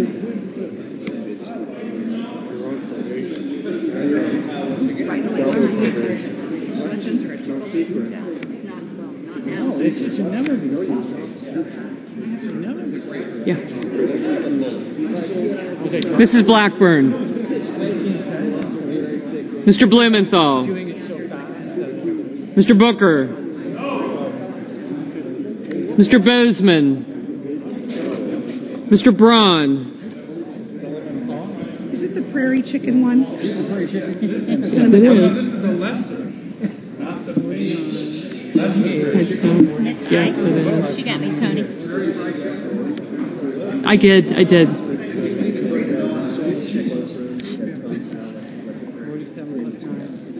Thank you. What did I say? Forty-nine. No chiller. Okay. No Mr. comments, Forty-seven. John had the last word. Plus nine. Mr. Brown, Mr. Budd, Fifty-six, forty-one. No, no. Ms. Cantwell, Mrs. Capito, Mr. Cardin, Mr. Carper, Mr. Casey, Mr. Cassidy, Ms. Collins, Mr. Coons. Mr. Cornyn, Ms. Cortez Masto, Mr. Cotton, Mr. Cramer, Mr. Crapo. Mr. Cruz, Mr. Daines, Ms. Duckworth, Mr. Durbin, Ms. Ernst, Mrs. Feinstein, Mr. Fetterman, Mrs. Fischer, Mrs. Gillibrand, Mr. Graham, Mr. Grassley, Mr. Hagerty, Ms. Hassan, Mr. Hawley, Mr. Heinrich, Mr. Hickenlooper, Ms. Hirono, Mr. Hoeven, Mrs. Hyde Smith, Mr. Johnson, Mr. Kaine, Mr. Kelly, Mr. Kennedy, Mr. King, Ms. Klobuchar, Mr. Lankford, Mr. Lee,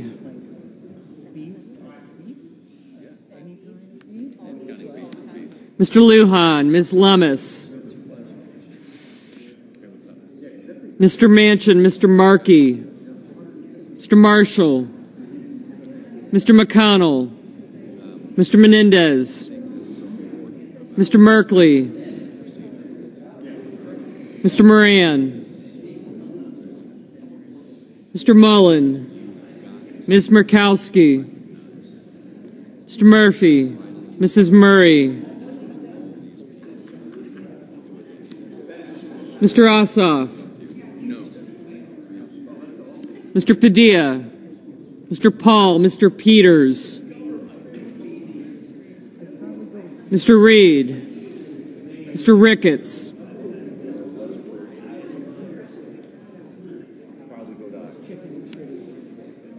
Mr. Risch, Mr. Romney, Ms. Rosen, Mr. Rounds, Mr. Rubio, Mr. Sanders, Mr. Schatz, Mr. Schmitt, Mr. Schumer,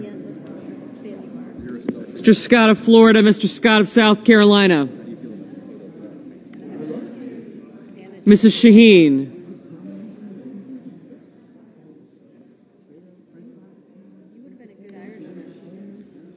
Miss Sinema, Miss Smith, Ms. Stabenow, Mr. Sullivan, Mr. Tester, Mr. Thune, Mr. Tillis, Mr. Tuberville, Mr. Van Hollen,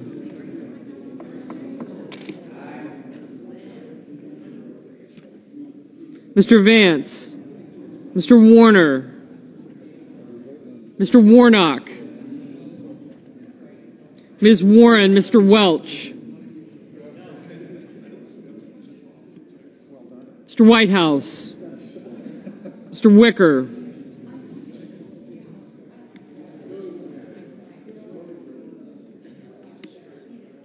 Mr. Wyden, Mr. Young,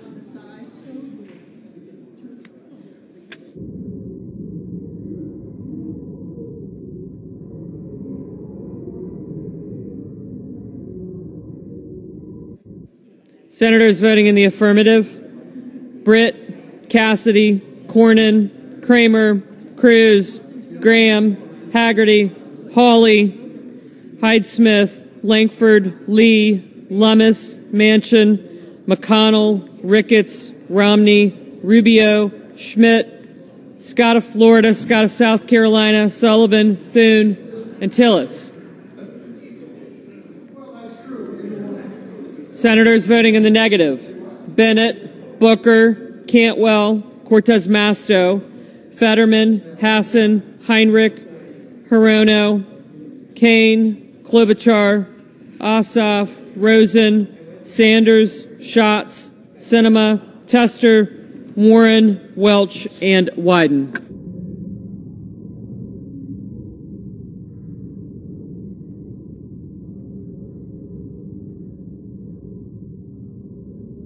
Mr. Grassley, aye. Mr. Kennedy, aye.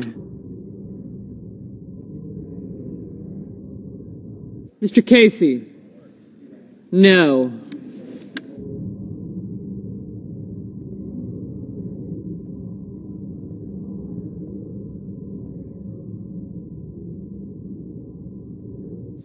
Mr. Padilla, no.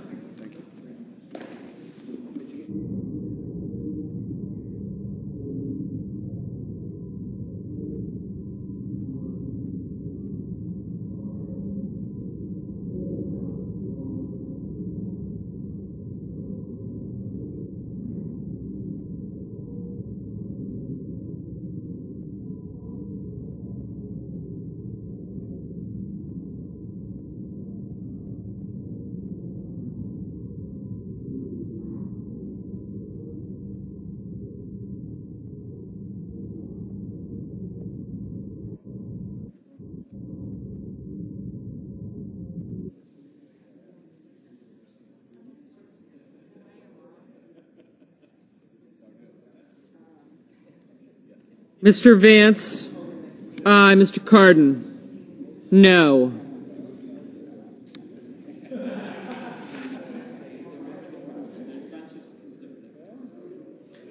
Mr. Hoeven, aye.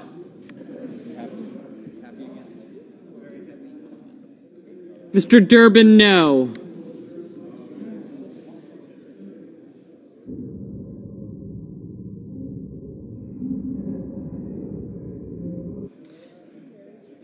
Ms. Murkowski, aye. Mrs. Capito, aye.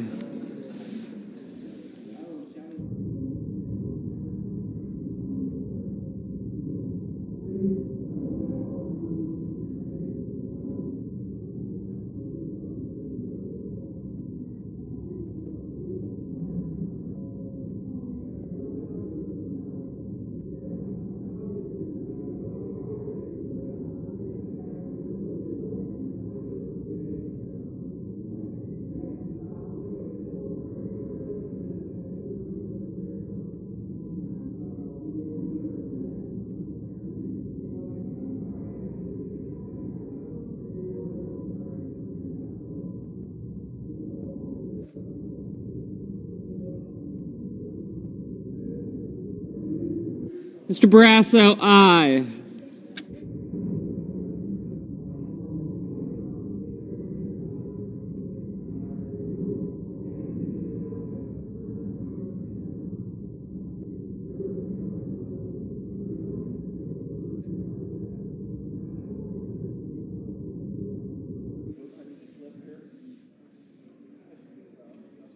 Mr. Brown? No. Mr. Murphy? No.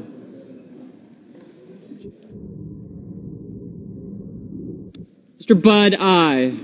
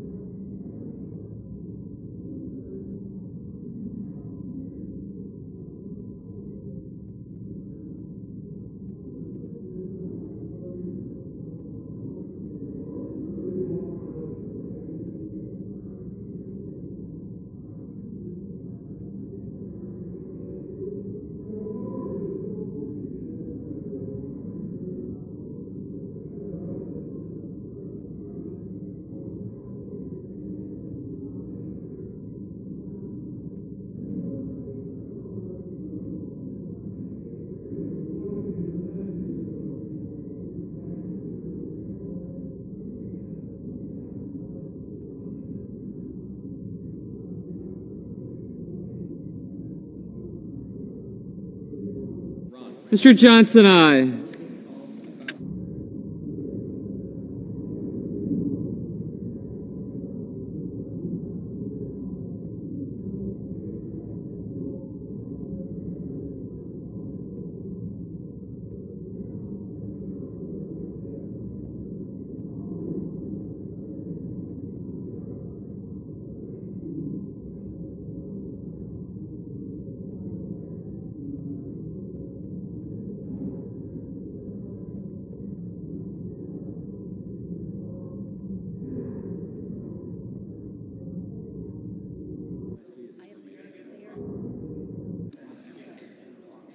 Mr. Warnock, no.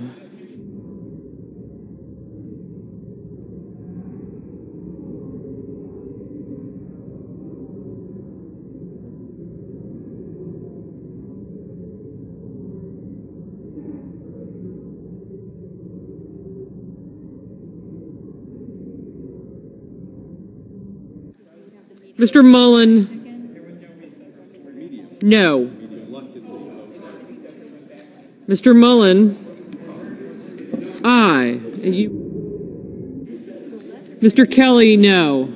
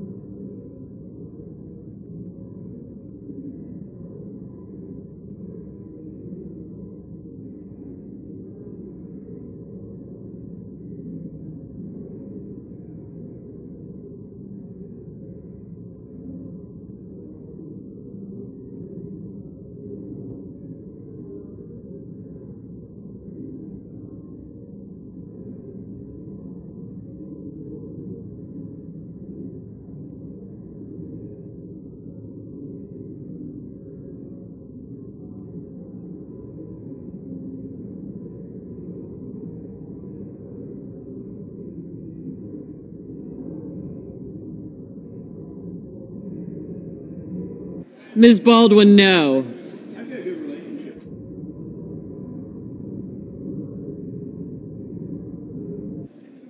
Mr. Young, aye.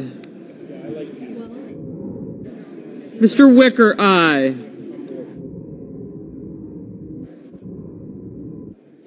I just.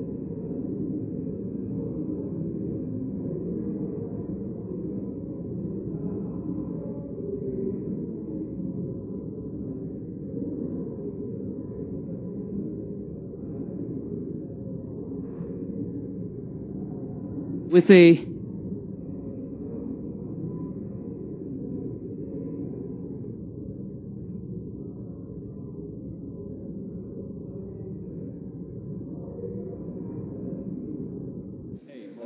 Mr. King, no.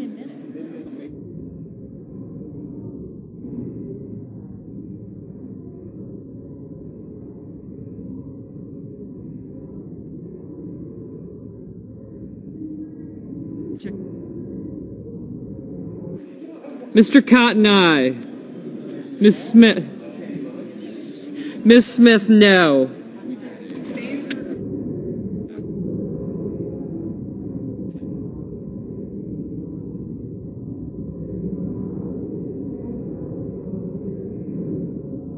Mr. Boozman, aye.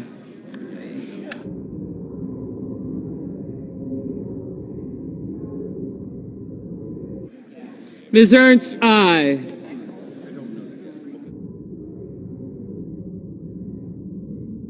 Stabenow, no.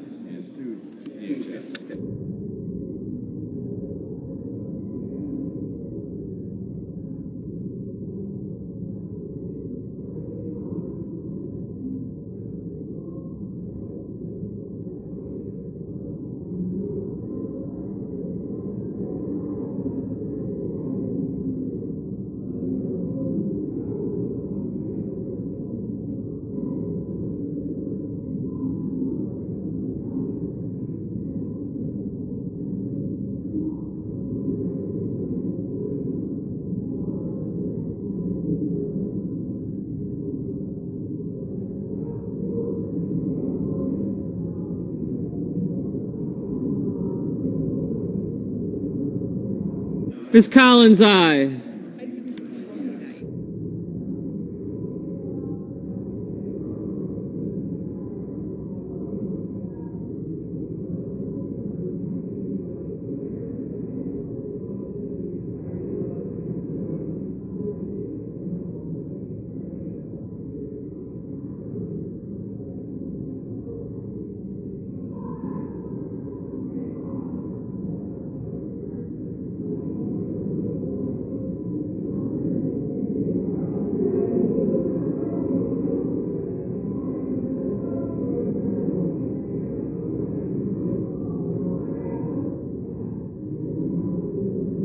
Mr. Risch, aye.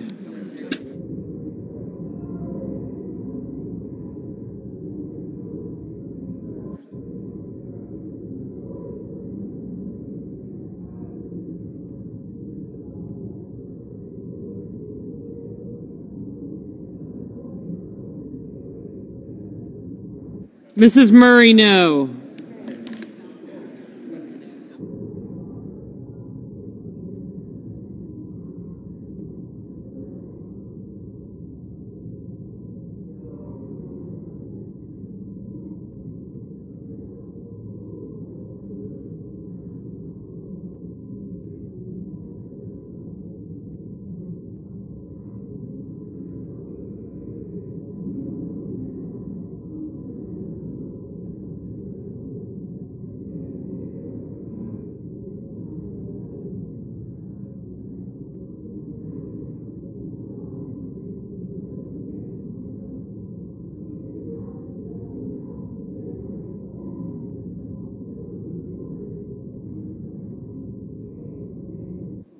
Mrs. Gillibrand, no.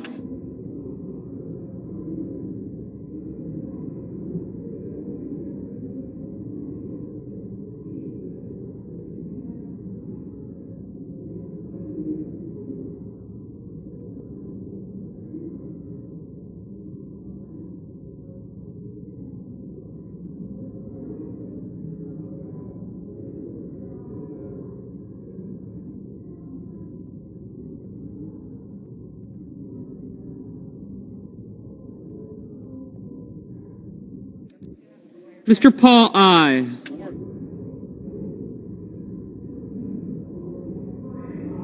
Mr. Moran, aye.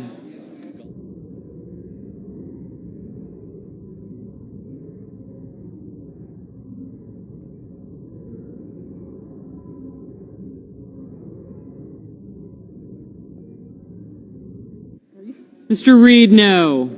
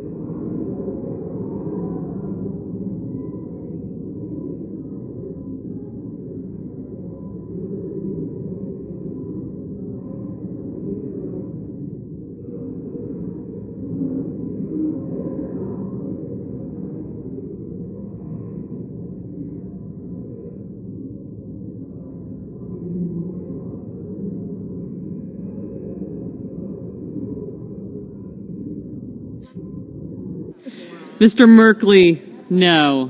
Mr. Tuberville, aye.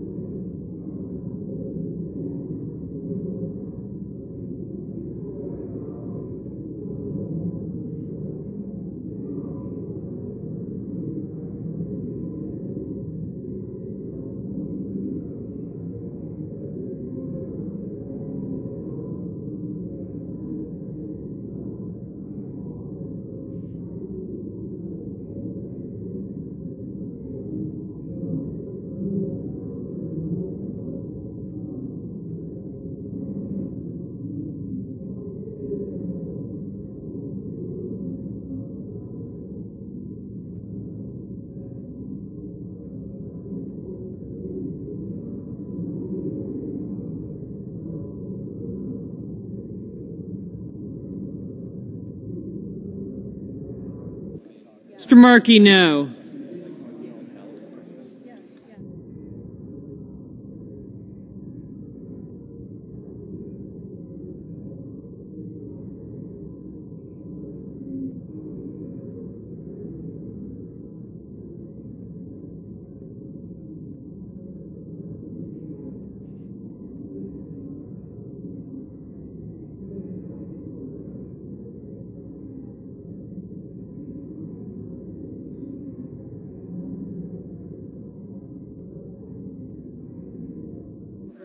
Mr. Van Hollen, no.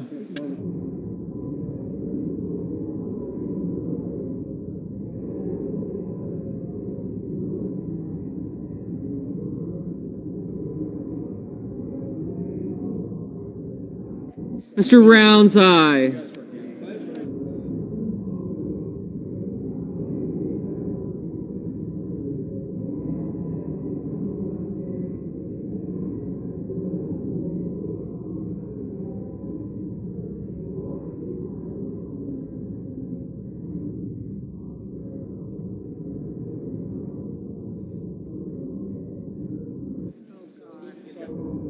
Mr. Carper, no.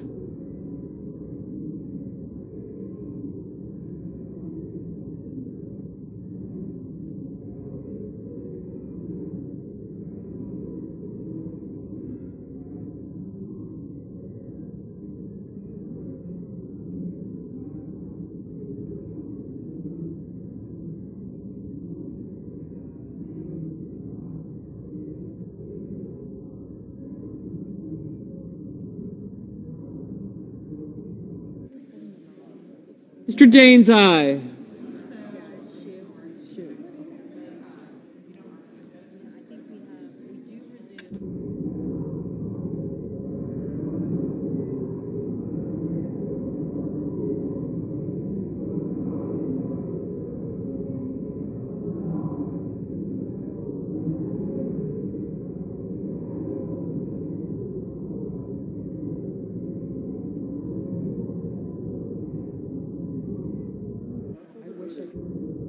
Ms. Duckworth, no.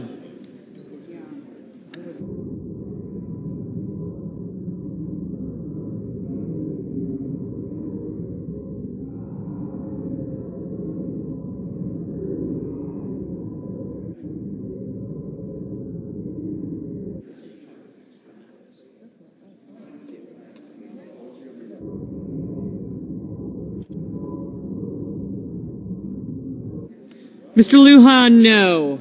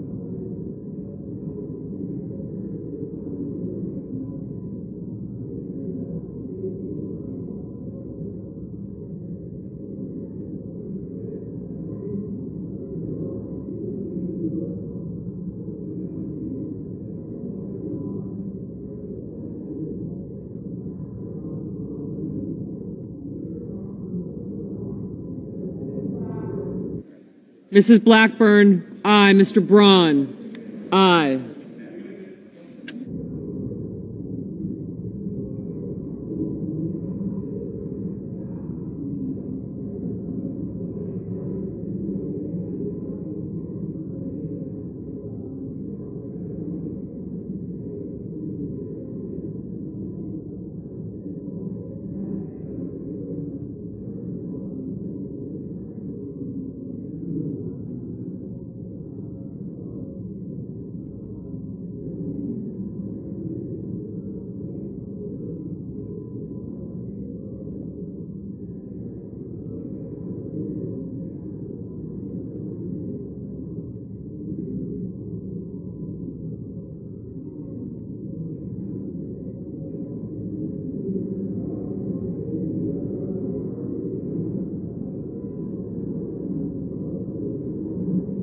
No.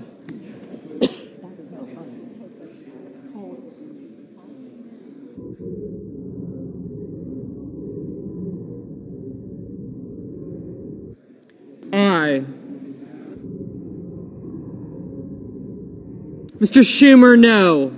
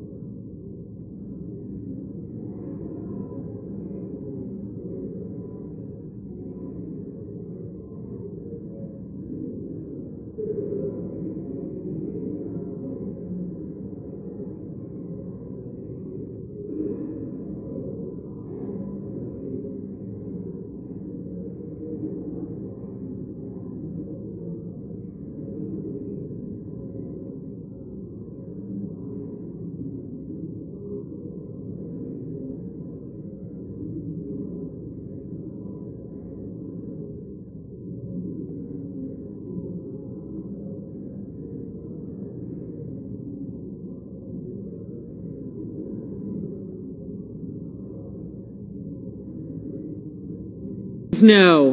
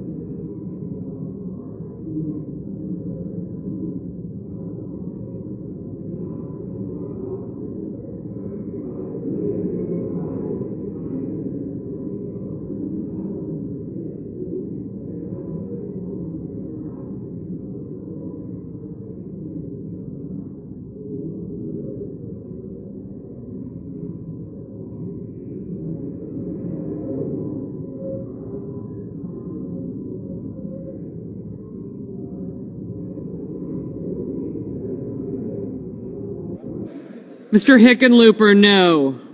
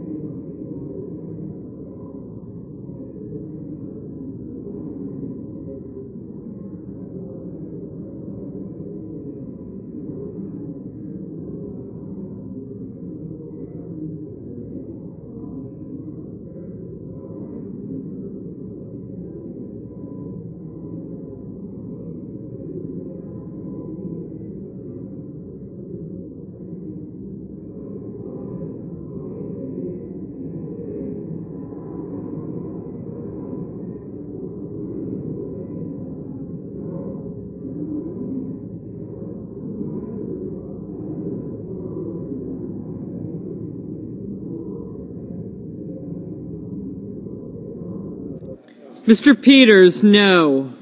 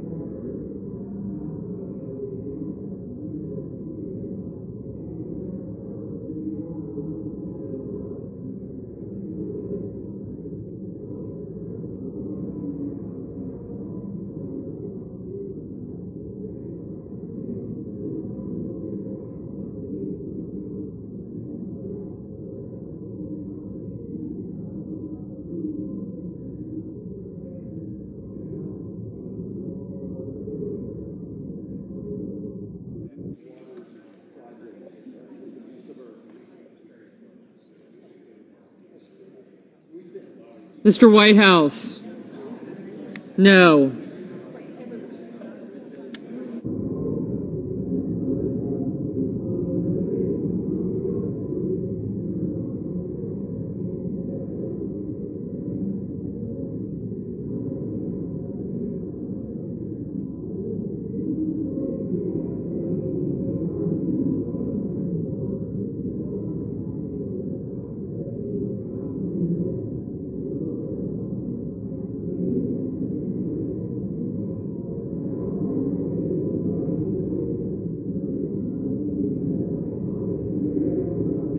Mr. Menendez.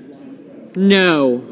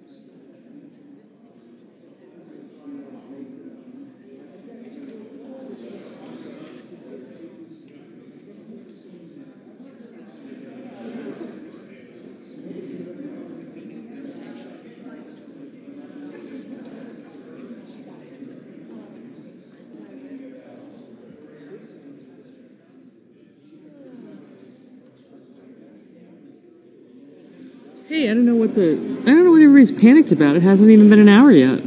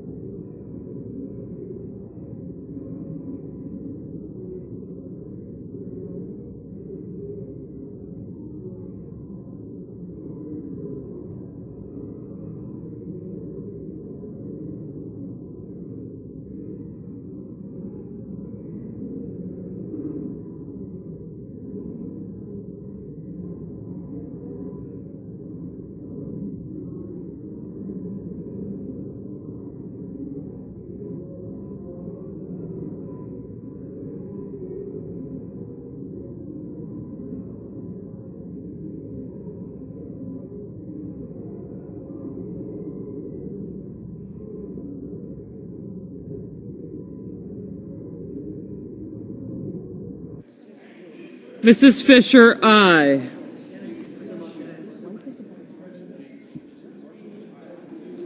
Mr. Marshall, aye.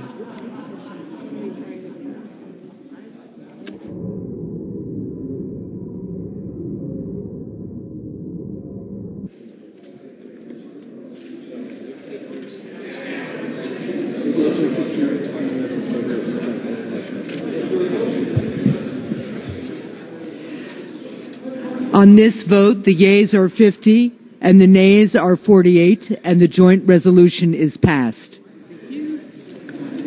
Under the previous order, the Senate will resume executive session. The question occurs on the Sioux nomination.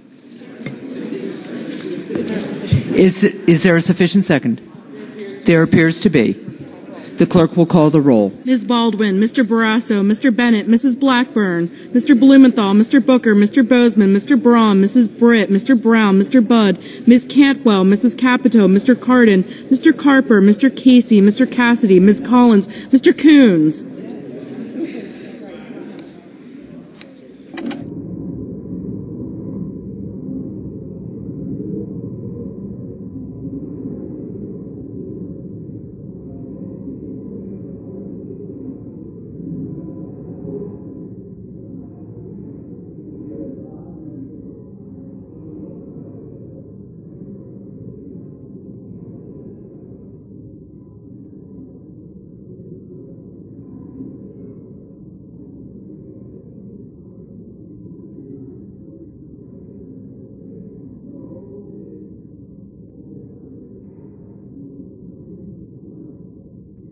Mr. Cornyn, Ms. Cortez Masto,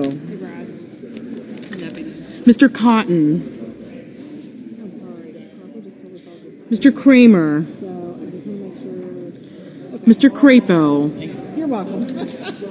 Mr. Cruz, Only interrupting is really important. Mr. Daines, Ms. Duckworth, Mr. Durbin, Ms. Ernst, Mrs. Feinstein, Mr. Fetterman, Mrs. Fischer,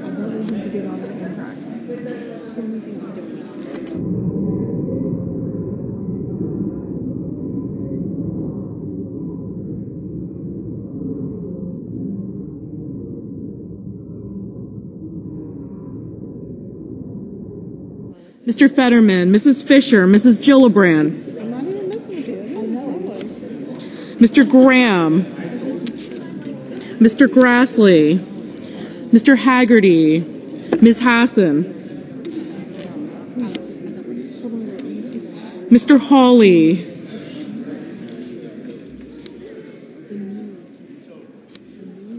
Mr. Heinrich, Mr. Hickenlooper, Ms. Hirono, Mr. Hoeven,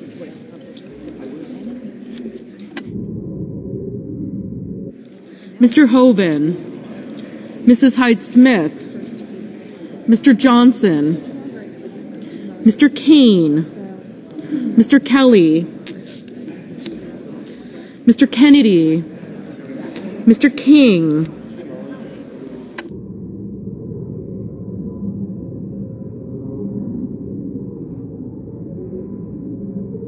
Ms. Klobuchar, Mr. Lankford, Mr. Lee, Mr. Lujan, Ms. Lummis, Mr. Manchin, Mr. Markey, Mr. Marshall, Mr. McConnell, Mr. Menendez, Mr. Merkley, Mr. Moran, Mr. Mullin, Ms. Murkowski, Mr. Murphy, Mrs. Murray, Mr. Ossoff,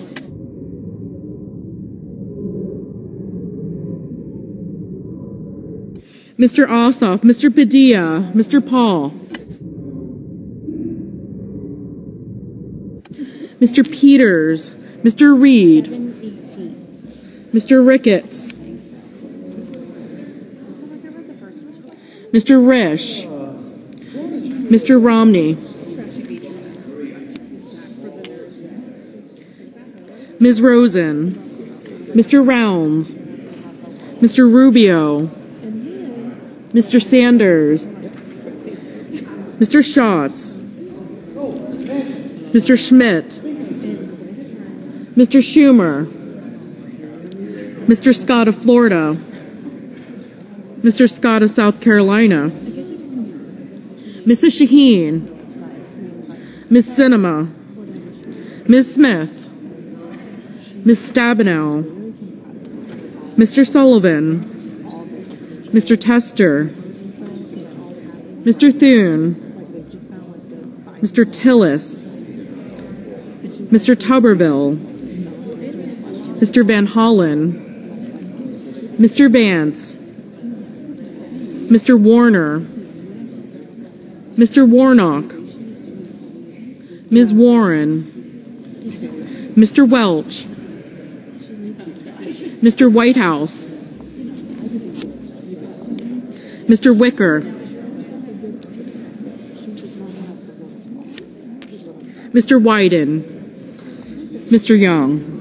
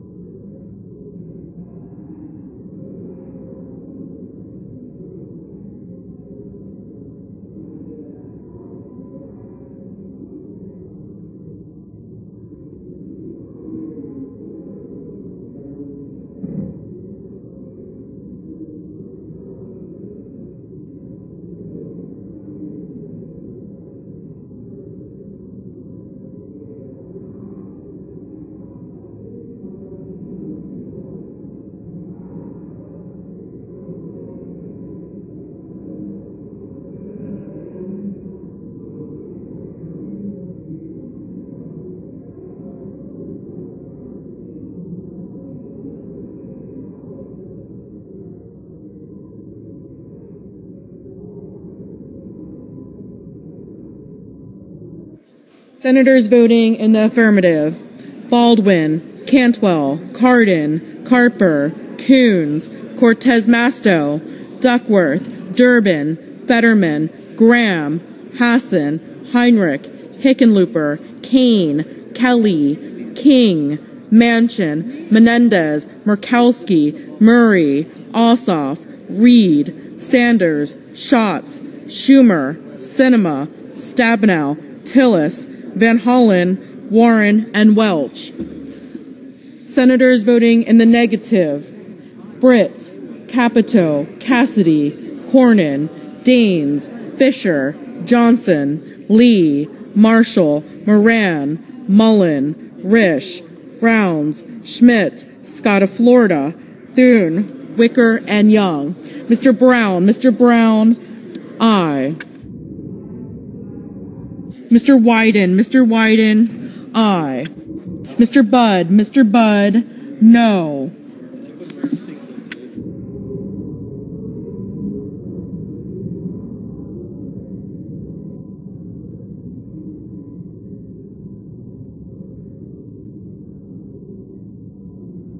Mr. Booker, Mr. Booker, aye. Ms. Ernst, Ms. Ernst, no.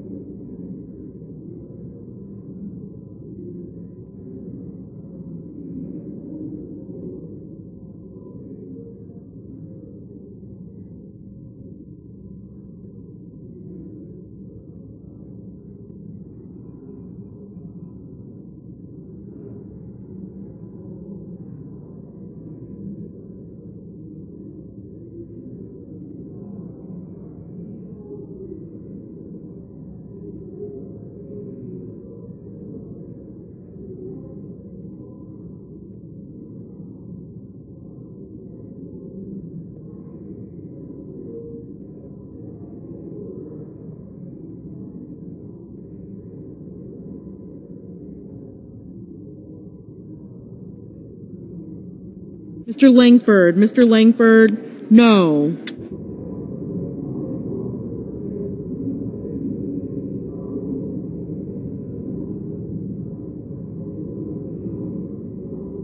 Mr. Braun, Mr. Braun, no.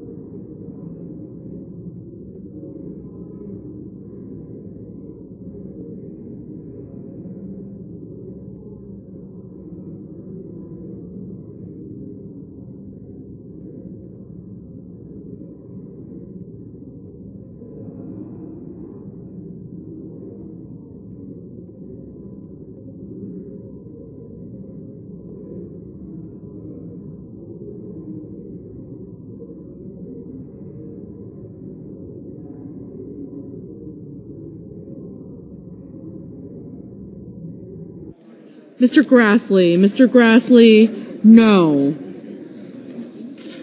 Mr. Kennedy, Mr. Kennedy, no. Mr. Whitehouse, Mr. Whitehouse, aye.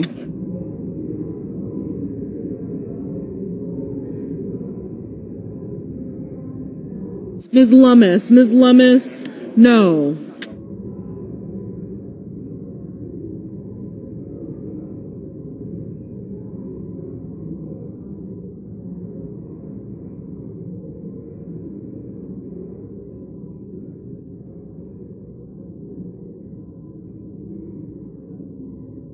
Mr. Romney, Mr. Romney, no. Mr. Barrasso, Mr. Barrasso, no.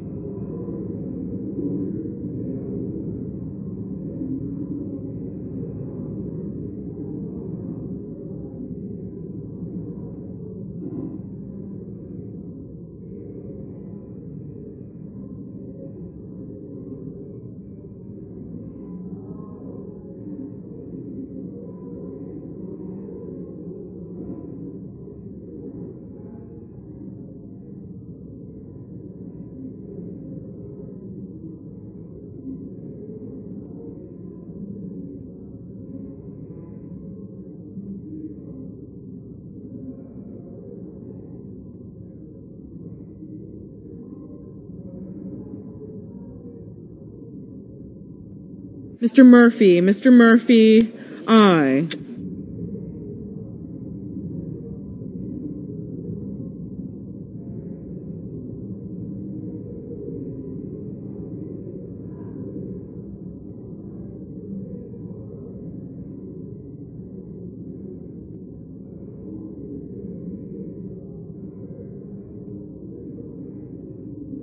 Ms. Hirono, Ms. Hirono, aye.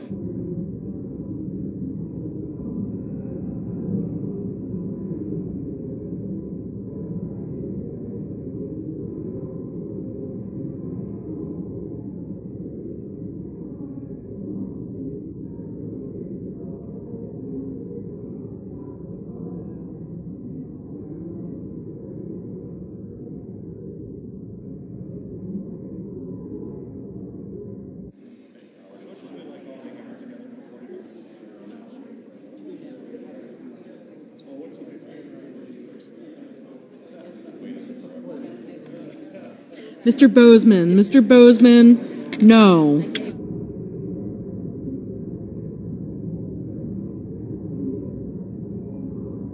Mr. Lujan, Mr. Lujan, aye.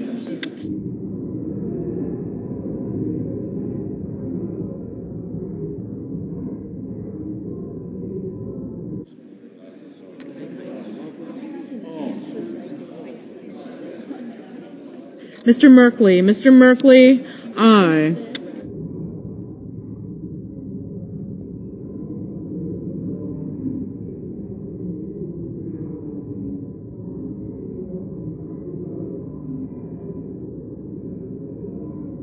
Mr. Casey, Mr. Casey, aye.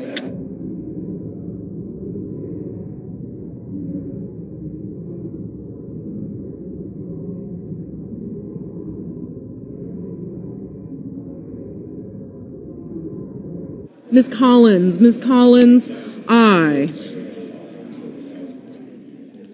Mr. Hoeven, Mr. Hoeven, no.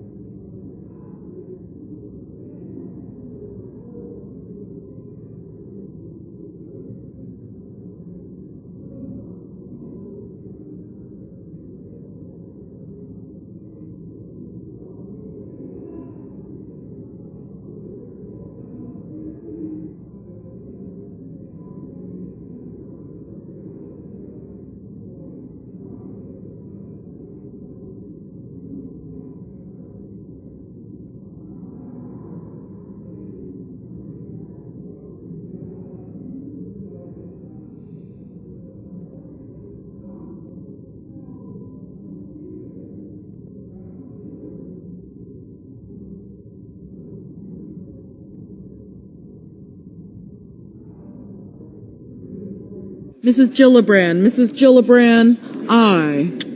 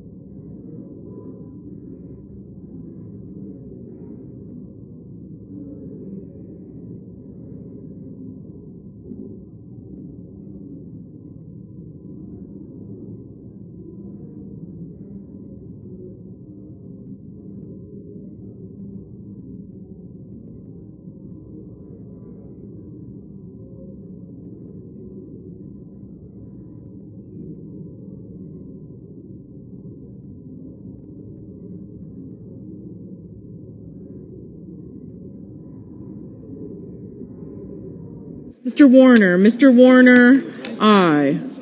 Mr. Crapo, Mr. Crapo, no.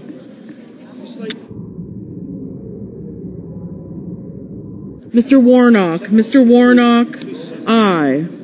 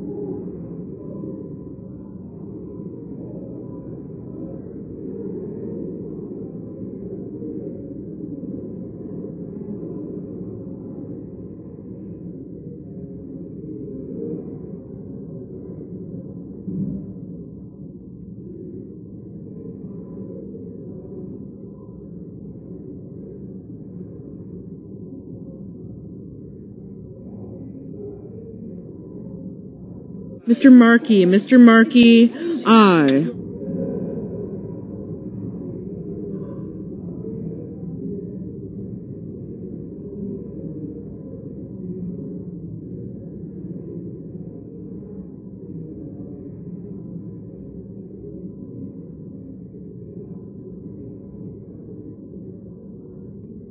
Miss Smith, Miss Smith,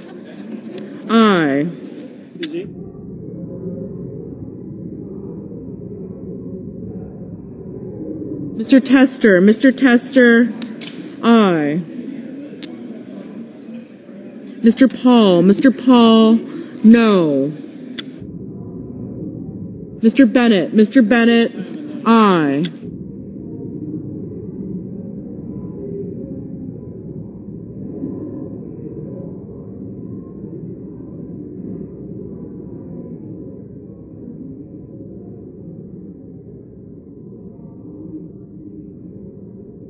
Mrs. Blackburn, Mrs. Blackburn, no.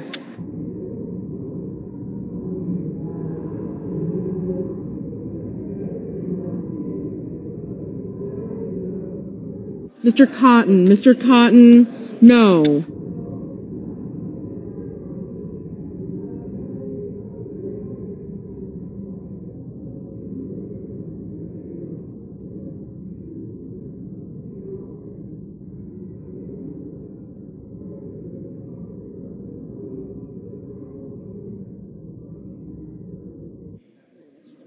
Mr. Peters, Mr. Peters, aye.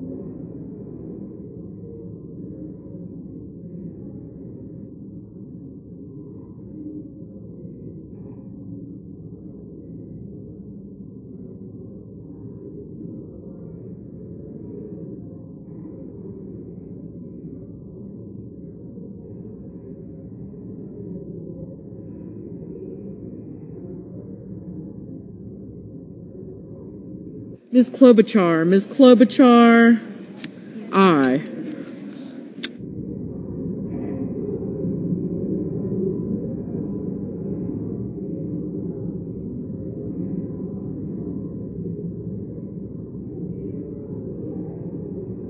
Ms. Rosen, Ms. Rosen, aye.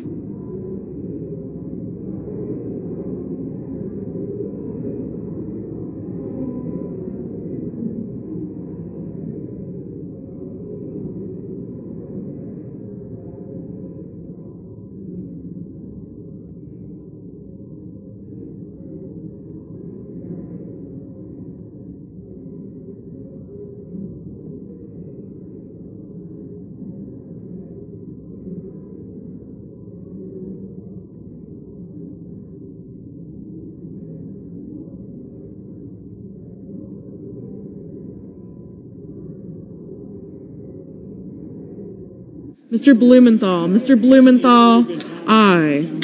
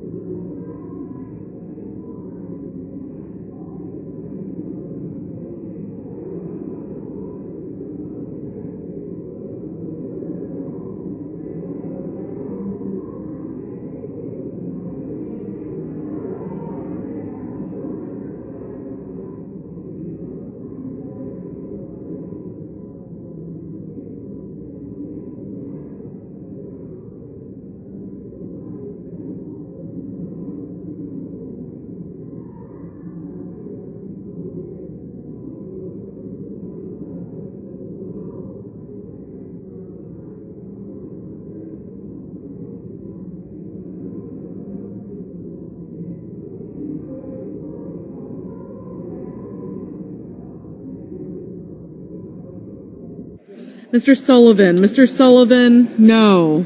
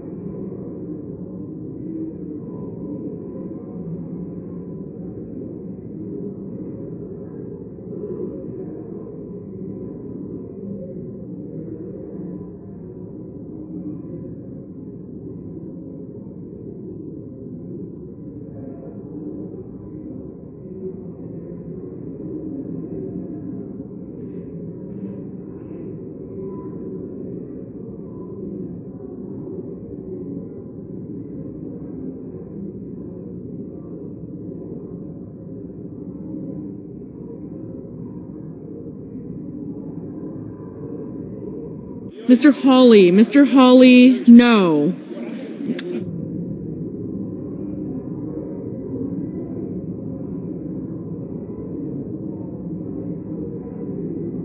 Mr. Padilla, Mr. Padilla, aye.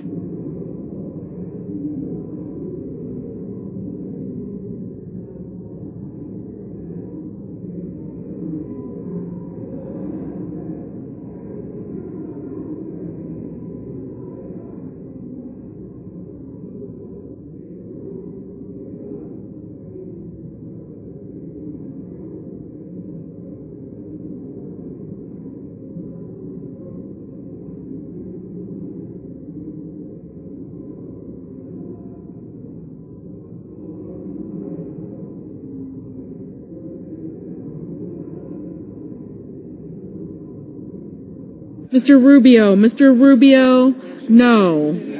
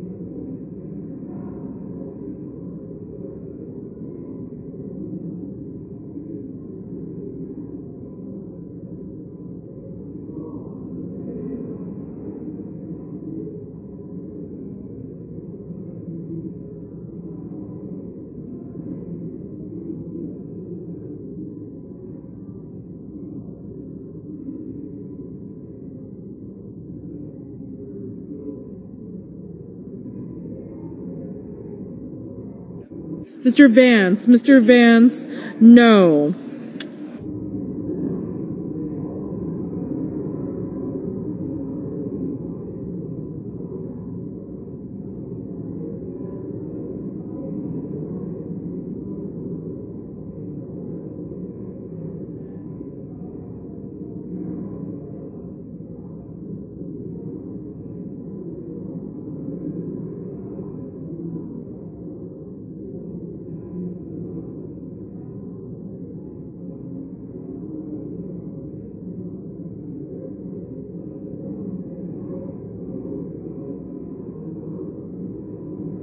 McConnell, Mr. McConnell, no.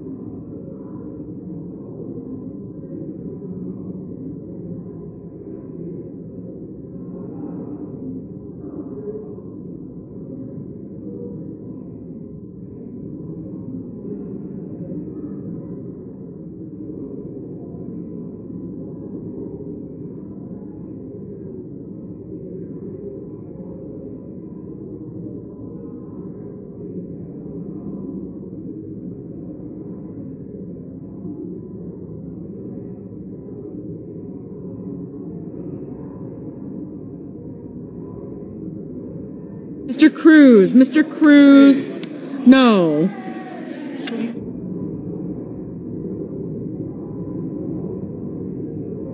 Mr. Scott, Mr. Scott of South Carolina, no.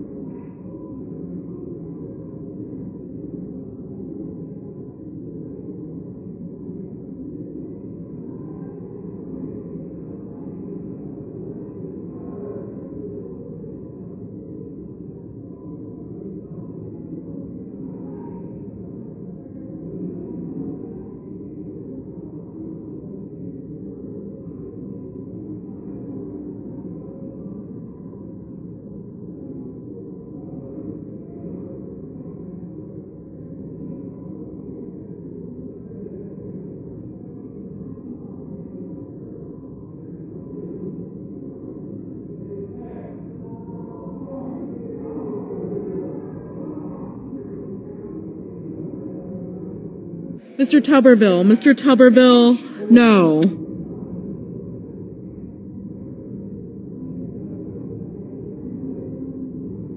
Mrs. Hyde Smith, Mrs. Hyde Smith, no.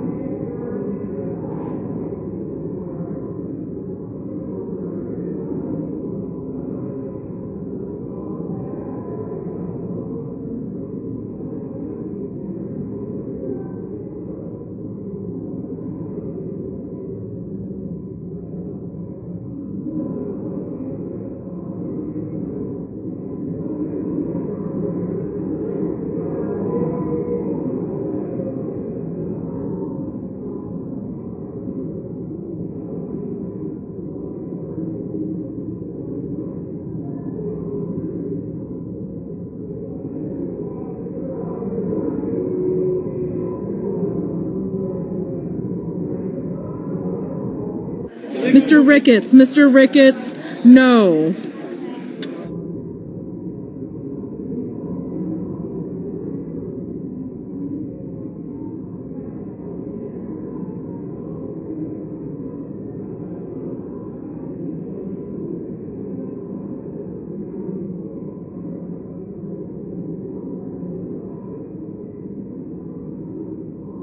Nomination, the yeas are 53, the nays are 43, and the nomination is confirmed.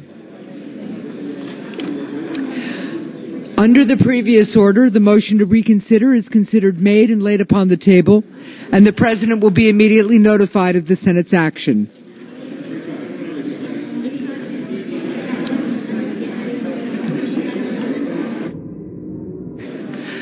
The clerk will report the motion to invoke cloture. Cloture motion, we, the undersigned senators, in accordance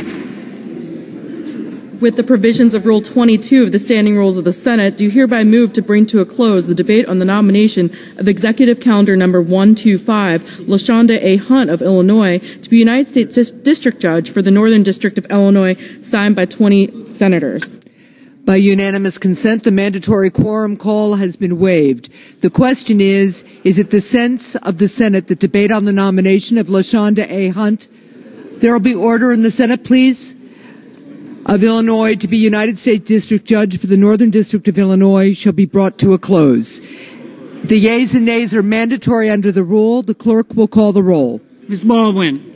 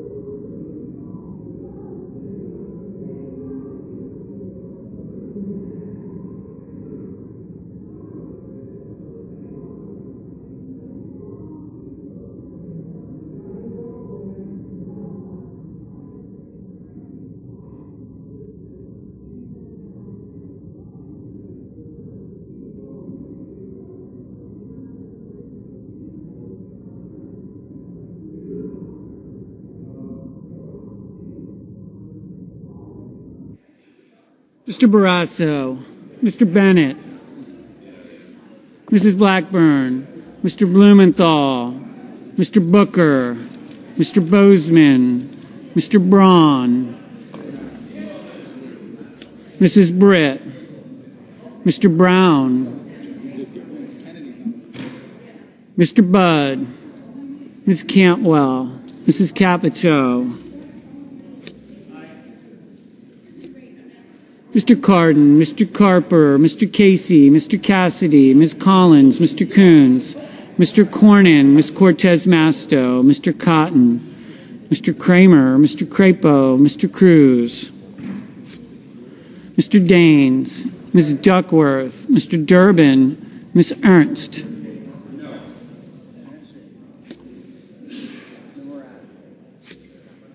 Mrs. Feinstein, Mr. Fetterman, Mrs. Fischer, Mrs. Gillibrand, Mr. Graham, Mr. Grassley, Mr. Hagerty, Ms. Hassan, Mr. Hawley, Mr. Heinrich, Mr. Hickenlooper, Ms. Hirono, Mr. Hoeven, Mrs. Hyde Smith, Mr. Johnson, Mr. Kaine, Mr. Kelly, Mr. Kennedy, Mr. King, Ms. Klobuchar, Mr. Lankford, Mr. Lee, Mr. Lujan, Ms. Lummis, Mr. Manchin, Mr. Markey, Mr. Marshall, Mr. McConnell, Mr. Menendez, Mr. Merkley, Mr. Moran, Mr. Mullin, Ms. Murkowski, Mr. Murphy, Mrs. Murray, Mr. Ossoff, Mr. Padilla, Mr. Paul, Mr. Peters, Mr. Reed, Mr. Ricketts, Mr. Risch, Mr. Romney, Ms. Rosen, Mr. Rounds, Mr. Rubio, Mr. Sanders, Mr. Schatz.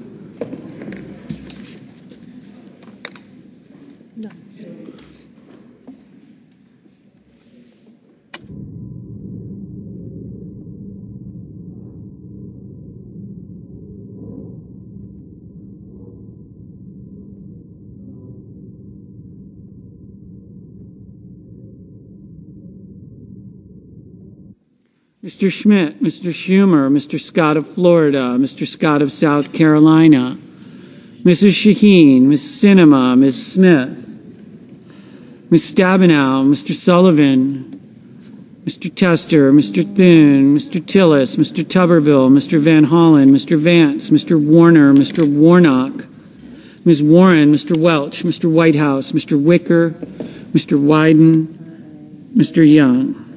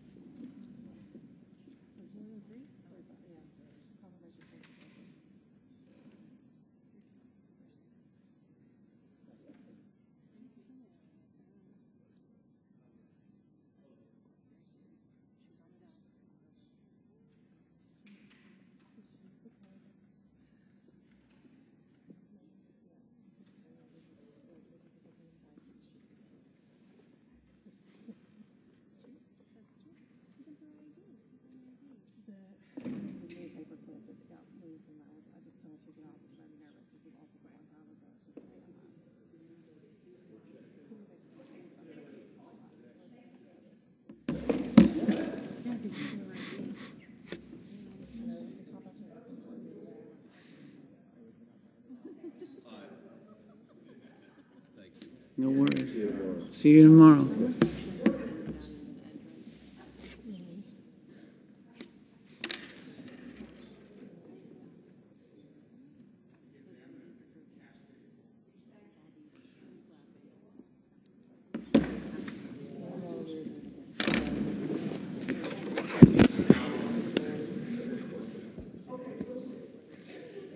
Senators voting in the affirmative. Baldwin, Bennet, Blumenthal, Cardin, Carper, Casey, Collins, Cortez Masto, Durbin, Fetterman, Gillibrand, Graham, Hassan, Heinrich, Hickenlooper, Hirono, Kaine, Kelly, Kennedy, King, Manchin, Markey, McConnell, Menendez, Merkley, Murray, Ossoff, Padilla, Peters, Reed, Rosen, Schatz, Sinema, Smith, Stabenow, Tester, Tillis, Warner, Warnock, Warren, Welch, Wyden. Mr. Murphy? Aye. Senators voting in the negative. Barrasso, Blackburn, Boozman, Braun, Britt, Budd, Capito, Cassidy, Cornyn, Cotton, Crapo, Cruz, Ernst, Fischer, Grassley, Hoeven, Hydesmith, Lummis, Moran, Mullin, Ricketts, Risch, Romney, Rounds, Rubio, Schmitt, Scott of South Carolina, Sullivan, Thune, Tuberville, Wicker. Mr. Daines, no.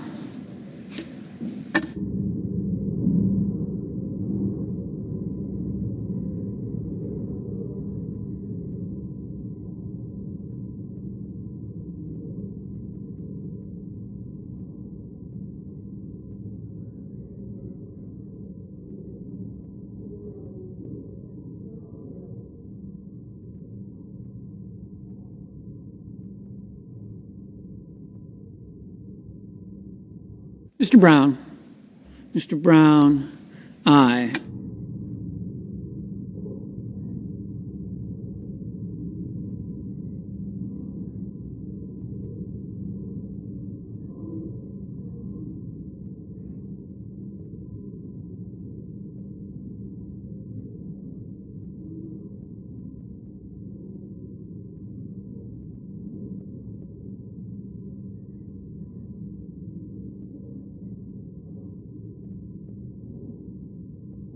Mr. Booker. Mr. Booker, aye.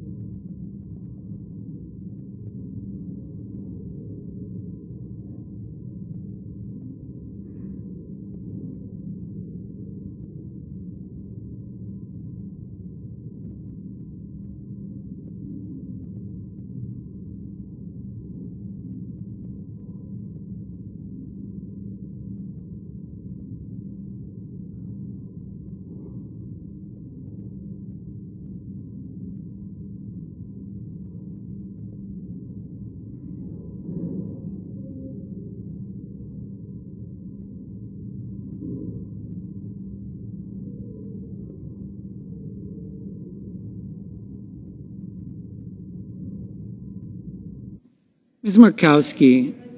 Ms. Murkowski, aye.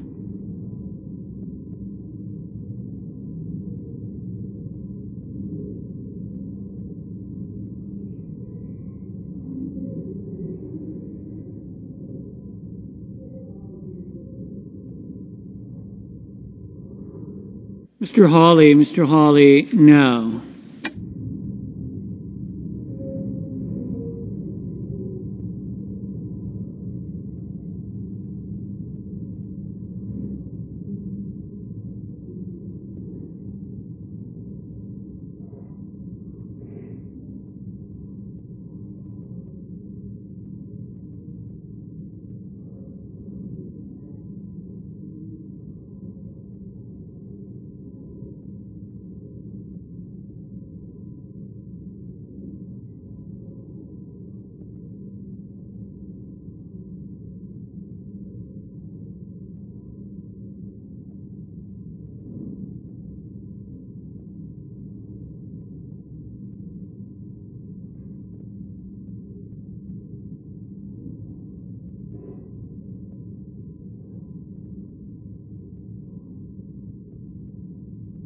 Mr. Young. Mr. Young, no.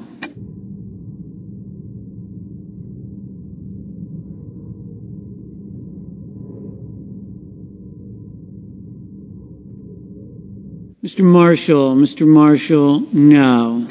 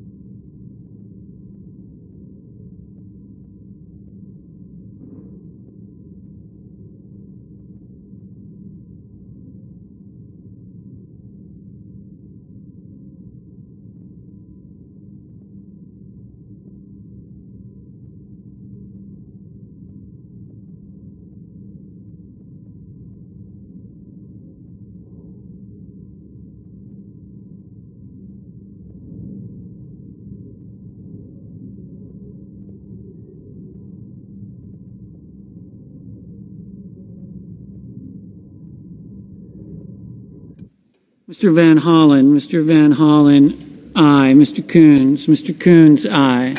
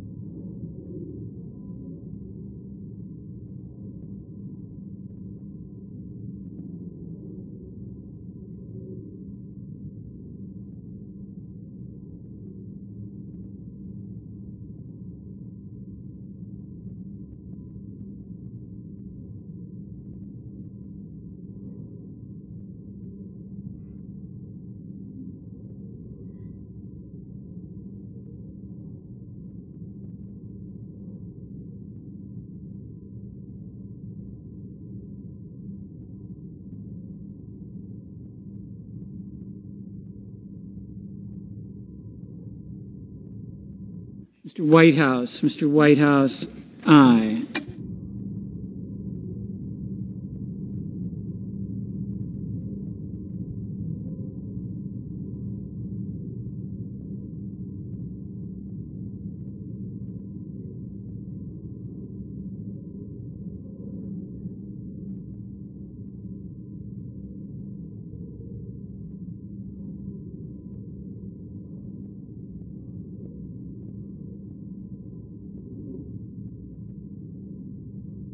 Mr. Lujan, Mr. Lujan, aye.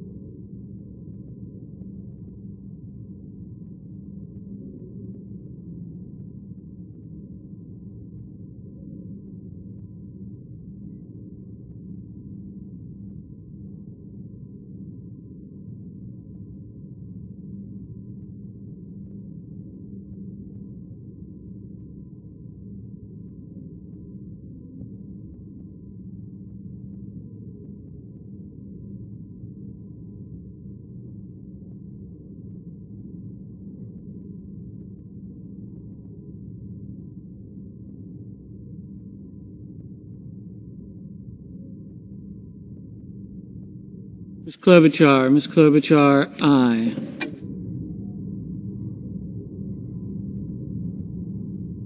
Ms. Cantwell, Ms. Cantwell, aye.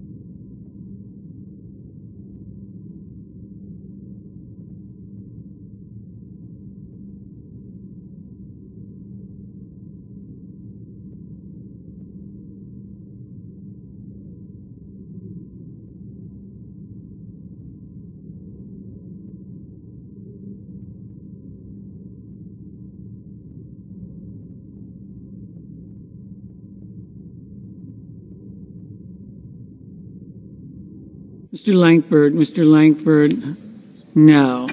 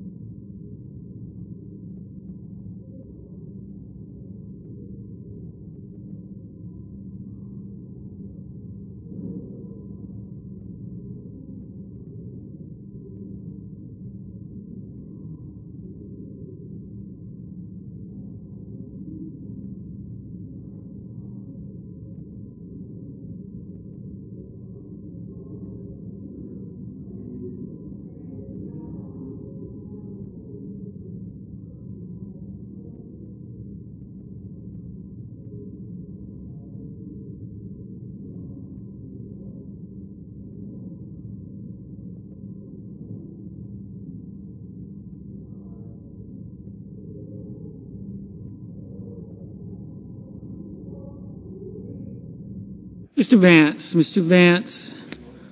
No. Ms. Duckworth, Ms. Duckworth, aye.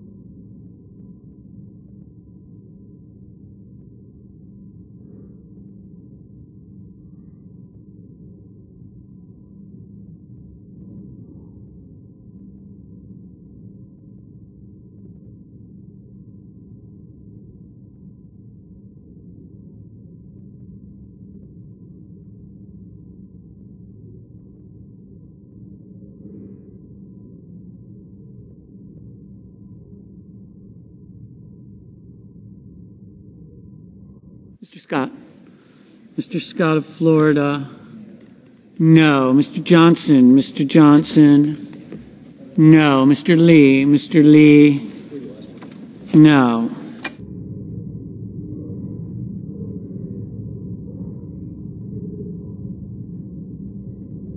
Mr. Hagerty. Mr. Hagerty. No.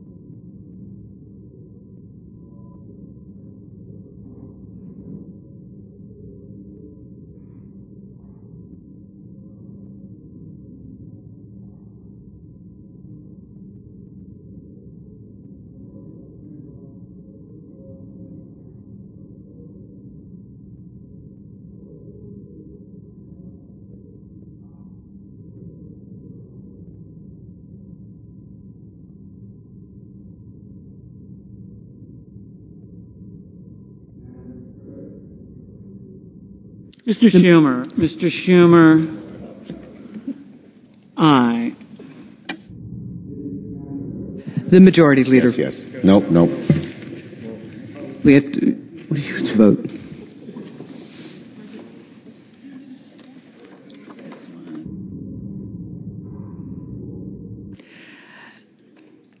On this vote, the yeas are 54, the nays are 42, and the motion is agreed to.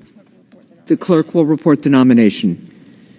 The judiciary, LaShonda A. Hunt of Illinois, to be United States District Judge for the Northern District of Illinois.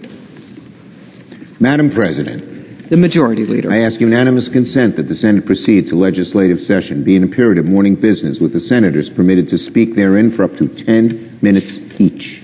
Without objection. And, Madam President, I ask unanimous consent that when the Senate completes its business today, it stand adjourned until 10 a.m. on Thursday, May 4th. That following the prayer and the pledge, the journal of proceedings be approved to date, the morning hour be deemed expired, the time for the two leaders be reserved for their use later in the day, and morning business be closed. Following the conclusion of morning business, the Senate proceed to executive session to resume consideration of the Hunt nomination post-cloture, and that all the time be considered expired at 11:30 a.m.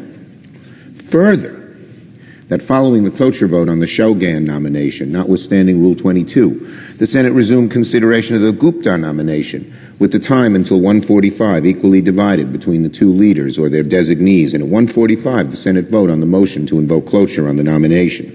Further, that if any nominations are confirmed, the motion to reconsider be considered made and laid upon the table, and the President be immediately notified of the Senate's action. Without objection. For the information of the Senate, there will be two roll call votes at 11:30 a.m. and one at 1:45. And if there's no further business to come before the Senate, I ask that it stand adjourned under the previous order, following the very, very learned remarks of Senator Sullivan. Without objection.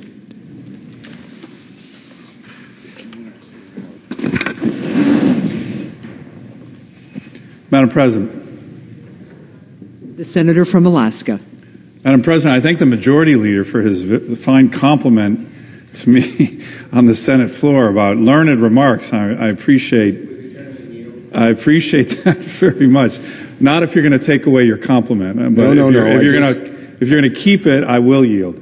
I just want to reserve the right to read the remarks before closing debate. Actually, I think you'll I think you'll appreciate these remarks. Thank you. I yield the floor and would, I'm looking forward to the senator's remarks.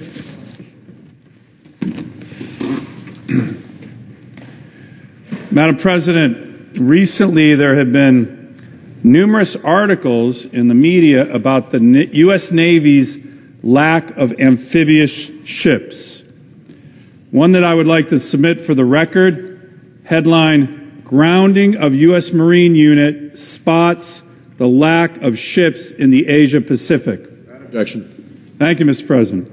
In this piece, the writer leads with how the 30, 31st Marine Expeditionary Unit, a rapid response force of the Marine Corps designed for quick deployment on three Navy ships, what we call an amphibious ready group, how they were forced to abandon a training exercise because the amphibious warships that they're supposed to train on were not available due to maintenance problems. Here's what the article said in part. The Marines, Marine unit's grounded status illustrates the larger obstacles the U.S. is facing as it tries to pivot its military to handle the challenges from China. Overall, defense officials said the Navy doesn't have enough amphibious ships to transport Marines. An essential part of the Marine Corps' mission is to hop from island to island in the Asia Pacific and harry Chinese forces in the event of a conflict.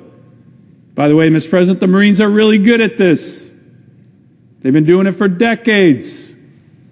But they need ships.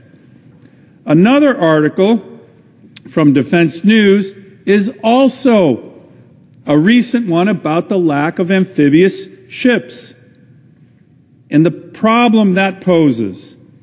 This one, Mr. President, is from another part of the world, but very recent. The article starts with how hundreds of American citizens were stranded in war-torn Sudan. It says, quote, hundreds of Americans in war-torn Sudan last month needed a way out of the country.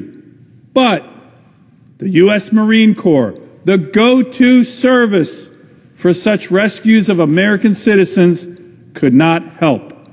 The article continued. Typically, this kind of mission would be standard for the Navy and Marine Corps' amphibious ready groups, a Marine Expeditionary Unit, or what we call in the Marine Corps a MEU, a MEU ARG, a Marine Expeditionary Unit, an amphibious ready group. Three ships, super well trained, special operations capable, can go anywhere in the world, kick the door in, save American citizens.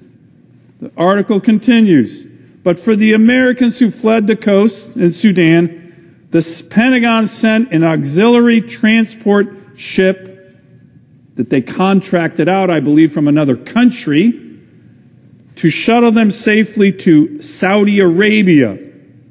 It was, in essence, a self evacuation of U.S. citizens. Mr. President, NPR reported that the buses actually took hundreds.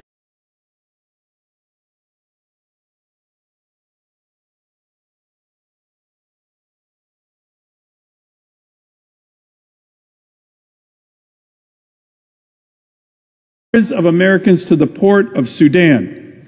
Imagine, imagine, my colleagues, what would have happened had that those Americans traveling in contract buses in the middle of a civil war got caught in the crossfire. The article that I just quoted, Mr. President, was entitled Marines Want 31 Amphibious Ships the Pentagon disagrees. Now what? And I'd like to submit that for the record. Without objection. Thank you. Sorry. And finally, Mr. President, there was another recent article from the Defense News, and its title was The Navy is on path to violate the 31 amphibious requirements for amphib ships in 2024. Now, Mr. President, this is what I wanted to get to. Last year, in the Armed Services Committee, we held a number of hearings with the Navy and the Marine Corps saying, what is the minimum number of amphibious ships that would enable the Marine Corps to do its global force response mission? The minimum number. After many hearings, after much discussion with the Marines and Navy, we came up in a bill of mine with a minimum of 31 ships. Mr. President, this bill in the Armed Services Committee last year passed unanimously. Every Democrat and every Republican voted for it. The law now reads as follows. I know this is a little small, but here's the new United States Code that has the new language. It says, the naval combat forces of the U.S. Navy shall include not less than 11 operational aircraft carriers and not less than 31 operational amphibious warships, of which not less than 10 shall be amphibious assault ships. What we call in the Marine Corps big deck assault ships that can carry helicopters and Ospreys and Harriers and now F 35 Bravos. That was the law. That passed. The president signed it. Here's the problem, Mr. President.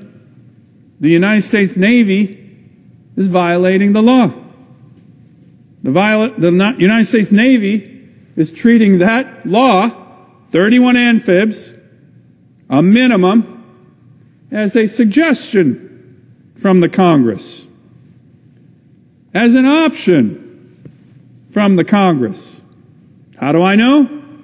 Because we had a hearing two weeks ago on the Armed Services Committee, and the Secretary of the Navy essentially said, We're looking at different options for the President's budget on how many amphibs that the Navy is going to have. And currently, the Navy presented a budget that doesn't have 31 amphibs. I had some crosswords with the Secretary of the Navy, the CNO of the Navy, because they're violating the law. And I will tell you, Mr. President, my Democratic and Republican colleagues on the Armed Services Committee were supportive of what I was saying. We had a hearing on the Armed Services Readiness Subcommittee yesterday. The Vice Chief of Naval Operations, Admiral Franchetti, said that the Navy was, quote, studying the issue. Mr. President, the Navy can't study the issue anymore. The Navy needs to follow the law. The United States Congress has done the studies. We need the ships. But here's what the Navy presented to the Armed Services Committee two weeks ago. They provided us their 30 year shipbuilding plan for the Navy. Right here is the 31 amphib ship statutory minimum that is required by the law. Here's the Navy shipbuilding plan for the next 30 years. seeing the numbers. These are different options Plan 1, Plan 2, Plan 3. You might notice the Navy never gets to 31 amphibs. So the Secretary of the Navy, the CNO of the Navy, the Vice CNO of the Navy came to the Congress in the past two weeks and said, ah, your 31 amphib ship requirement, we're going to ignore it. Ah, your 31 amphib ship requirement, Congress of the United States of America, we're going to violate that. Mr. President, this is unacceptable. The United States Navy, the Secretary of the Navy, the Secretary of Defense should not be thumbing their nose at the Congress. And worse, they should not be violating the law and not, not trying to abide by the law. They're saying for 30 years, we are going to ignore the Congress and we are going to ignore the laws of the United States of America. This cannot happen. This cannot happen. Mr. President, let me end with this. Whether you're a Democrat or a Republican, whether you are a hawk on defense issues or a dove on defense issues, if you are a United States Senator, This should make you really mad. This should make you really mad.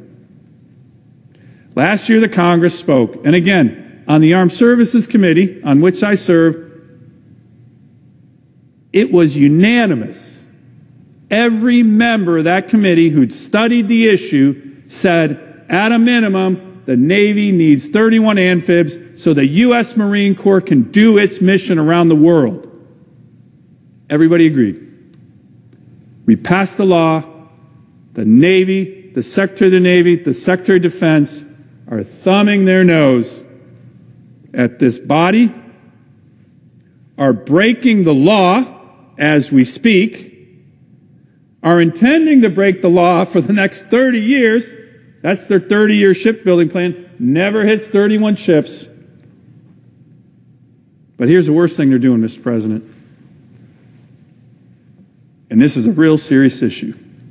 They're putting the lives of American citizens at risk. Why do I mean that? Well, let me end where I began. Sudan, rescue of American citizens. Again, normally that is a mission tailor made for the United States Marine Corps, whether in an embassy or another part of a dangerous part of the world. It's what we call a non combatant evacuation operation, a NEO. The Marines do them all the time. Bring up their amphibs, launch helos, launch support craft, helicopters, fighters if they need the air support, the capability of a MEU ARG to go rescue American citizens, a lot of them is unsurpassed by any service in the world. The U.S. Marines do it all the time. But guess what they can't do it without, Mr. President? They can't do it without amphibious ships. And right now, we don't have enough. So we dodged a bullet two weeks ago in Sudan. American citizens put on buses and driven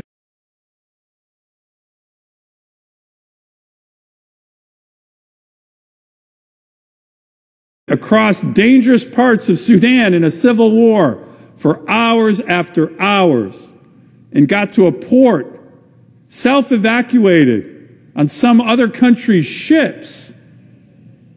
We are so lucky that those Americans did not get killed or wounded. Did not get killed or wounded because there was no Marine Corps to rescue them. So, Mr. President, I'm going to keep raising this issue. Of Defense, of the Navy, today they are violating the law. Today they have no intention of meeting this 31 amphib ship requirement, and American citizens are at risk.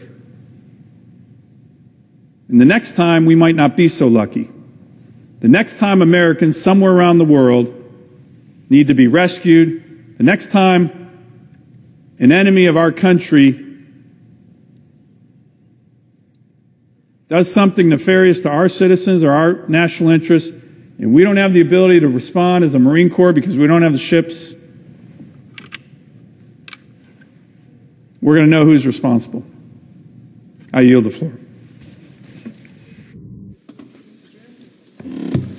Under the previous order, the Senate stands adjourned until 10 a.m. tomorrow.